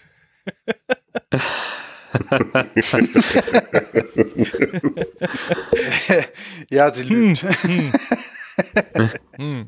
Wir können es jetzt ja so sagen, wie es ist. Ja, sie lügt, aber ich glaube, wenn die Frauen dabei sind, sagen wir, nein, Schatz, du hast vollkommen recht. Du hast, du hast vollkommen recht. Ne? Äh, in die gleiche Kerbe ähm, stößt Kenneth Drago Spreyer. Der sagt nämlich auch, meine Partnerin und ich haben das Agreement. Du druckst nur, was du anmalen kannst. Nicht mehr, nicht weniger. Lachender Smiley. Ansonsten abstoßen, was nicht mehr gespielt wird. Oder nur so viel, dass man nochmal eine Partie spielen kann, um sich daran zu erinnern, warum das einstaubt. Das haben wir vorhin auch wohl gesagt, ne? So, dass man einfach mal Sachen ja, spielen genau. kann und so weiter und so fort. Und auf Twitter ähm, sagt Ed Altansa nicht dran denken. Mein, dass es weniger wird. Im besten Fall kein Bauen, aber das ist für mich utopisch. Ich glaube, jeder baut sich in seinem Leben irgendwie ein Pile of Shame auf. Ich glaube, anders geht's gar nicht. Das wird einfach so passieren. Ja, den gibt's ja, habe ich ja vorhin auch schon gesagt, den Pile of Shame, den gibt's ja überall. Den ist ja egal, ob du Figuren im Keller hast, ob du eine unaufgeräumte Garage oder Dachboden hast, ob du einen vollen Kleiderschrank mit Klamotten hast, die du schon seit drei Jahren nicht mehr angezogen hast, ob das die Wampe ist, die du mal wegtrainieren müsstest, die du nicht, mit der du nicht joggen gehst. Also es ist ja egal Bücher, eigentlich. die du gekauft hast, aber nie gelesen. Oh ja. Ja, Bücher oder die Videos angesprochenen Videospiele oder ach, ja, ne? Also hm. die Zeit ist halt endlich. Aber die Reaktionen, die wir so bekommen haben, wenn ich da eben kurz reingrätschen darf, von, von, von den Leuten, die waren im Prinzip eigentlich immer ähnlich. Ne? Also ich habe jetzt nur die drei rausgepickt, ne? es kamen noch, noch weitere. Aber ich habe erstmal die drei rausgepickt, weil ähm, genau dieser Tenor kommt da raus, ne? von wegen so einfach nicht dran denken. Das ist so der Grundtenor, den ich aus unseren Zuschriften herausgelesen habe. Hm. Ja, ich glaube, das ist vielleicht auch so, dass das ja, der, das Fazit vielleicht auch der ganzen Sache neben, neben, sag ich jetzt mal, äh, einer praktischen äh, Fibel, die man sich jetzt zurechtschreiben kann aus, aus, aus, den, aus der Essenz jetzt unseres Gequatsches hier, ähm, was man alles machen kann, muss man dann vielleicht auch am Ende einfach sagen, ja, mach dich frei davon, es ist Hobbykram. Ähm, du wirst es ja wahrscheinlich gekauft haben und, und es irgendwie bezahlt haben, hoffentlich. Und ähm, dann liegt's halt darum und es frisst kein Brot. Und ähm, du wirst vielleicht in Zukunft damit Spaß haben. Und ähm, dann gibt's halt einfach unterschiedliche Typen und die müssen halt unterschiedlich an so einen, so einen Stapel rangehen oder man sagt halt einfach, egal. Ja, ist halt so, macht nix, weiter geht's. Hauptsache Spaß. Ein letzter Punkt, den ich vielleicht auch noch äh, ansprechen möchte, sind verschiedene Maltechniken. Ähm, man kann, ohne einen einzelnen Pinselstrich zu machen, äh, Jahre damit verbringen, sich bei YouTube Tutorials anzugucken. Ähm, das ist natürlich alles, alles dann nur rein, rein theoretisches Malen, ne? So, wenn man so, ja, die Weathering-Technik könnte ich auch machen. Ich persönlich habe die Erfahrung gemacht, ähm, dass der Einsatz von neuen Techniken auch nicht selbstverständlich ist. Also ich habe hier diverse Ölsachen rumstehen, die ich nicht benutze. Ich habe mir eine Airbrush gekauft, die ich nicht benutze. Äh, äh, es ist eigentlich traurig. Das ist sozusagen der Pile of Shame des Arbeitsgerätes, was hier rumsteht. Und ähm, es muss einem klar sein, wenn man eine neue Technik benutzt, dann wird das vermutlich beim ersten Mal schiefgehen. Und dann muss man eine Frustrationsgrenze halt auch, oder eine Frustrationstoleranz halt auch mitbringen und sich klar sein, dass man dann diese neue Technik einfach auch üben muss, bis das vernünftig wird. Ne? Weil ich mich noch nicht so wirklich an diese, an diese Panel-Liner getraut habe, stehen bei mir meine, meine äh, Blood Red Sky Maschinen immer noch irgendwo rum. Ähm, was auch schade ist. Aber vielleicht ist halt äh, es sinnvoller, neue Techniken mit Frustrationstoleranz zu üben, aber eine nach, dem anderen, äh, nach der anderen und äh, nicht alles auf einmal machen zu wollen, dann, dann, dann wird das einfach nichts. Ansonsten ähm, möchte ich mich nochmal ganz herzlich bei unseren beiden Gästen äh, bedanken, dass sie heute gekommen sind äh, und auch nochmal darauf hinweisen, falls es irgendeinen unserer Hörer geben sollte, was ich nicht glaube, aber falls es, falls es dich da draußen gibt, der den Table Podcast noch nicht kennt, äh, kann ich nur wirklich ans Herz legen. Ein, ein wirklich guter Podcast, der ähnlich aufgestellt ist wie, wie, wie unser, ähm, der auch allerdings das Tabletop-Hobby im Speziellen, aber dann auch allgemein beleuchtet, während wir ja noch Brettspiele und, und ähm, Rollenspiele dabei haben. Sehr hörenswert. Und äh, tja, Jungs, haben wir es geschafft, ne? Ich glaube, wir haben immer noch nicht alles äh, wirklich beleuchtet, so wie wir es, glaube ich, beleuchten könnten. Nee, das, das, wir, wir, also auf, auf gar keinen Fall. Wir haben das im Prinzip, also kein Witz, ne? Im Prinzip haben wir das Thema nur gestreift. ja. Ich kann es nicht anders sagen, halt. Ich glaube, das ist ein Thema, das ist ähm, nicht innerhalb von zwei Stunden mit vier Leuten irgendwie äh, diskutierbar oder äh, zu einem Ende zu bringen, weil äh, es gibt so viele Gründe, warum es einen Pile of Shame gibt begrenzt äh, sehen jetzt auf das Hobby. Ähm, und die sind so viel und individuell, wie sie zustande gekommen sind, ist, wie, wie ich vorhin schon mal irgendwie eingeworfen habe, es kann dafür keine Schablonenlösung geben. Kann eben halt nur äh, Denkanstöße geben und äh, versuchen äh, zu sagen, ja, so bin ich damit umgegangen, ob diese Tipps oder diese Erfahrungen, die wir eben halt gesammelt haben, wem anders weiterhelfen Vielleicht, aber wir können es nicht sicherstellen. Nee, das würde mich jetzt interessieren, ne? Was ihr jetzt aus unserer Folge draus macht. Also, das war am Anfang wirklich kein Scherz. Schreibt uns mal wirklich mal, ob ihr von den Tipps, die wir heute mal so besprochen haben, was umgesetzt habt und wie es funktioniert hat. Und wenn ihr da draußen noch andere Tipps habt, dann schreibt die doch einfach in die Kommentare, egal wo ihr euch gerade befindet. Auf Instagram, auf Twitter sind wir vertreten, bei uns auf der Internetseite könnt ihr Kommentare schreiben. Schreibt uns eine E-Mail an podcast.dysonnotes.com oder kommt bei uns auf den Discord. Also wir haben durchaus überall Möglichkeiten, wo ihr uns kontaktieren könnt. Und ich denke mal, das würde uns viel wirklich interessieren, was ihr aus eurem Stapel der Schande jetzt gemacht habt. Trinken wir jetzt noch in der Kantine ein Bierchen? Wir trinken noch in der Kantine geht, ein Bierchen, oder? ja. Ja, dann sage ich auch nochmal Danke an unsere beiden Gäste, äh, Matthias und Daniel. Immer wieder herzlich willkommen hier bei uns im Podcast. Ähm, Hauke, danke für die Vorbereitung des Themas. Ähm, haben wir jetzt über zwei Folgen wirklich super besprochen, obwohl wir es eigentlich noch viel weiter besprechen könnten. Aber das ist eine andere Geschichte. Gut. Ich sage vielen Dank fürs Zuhören und wir freuen uns auf eure Zuschriften und ich würde sagen, wir hauen jetzt ab. Wir gehen uns noch, wie Daniel gerade sagte, in der Kantine noch ein Trinken. Also haut raus, ne? Bis dann und tschüss. Tschüss. Ciao. Tschö.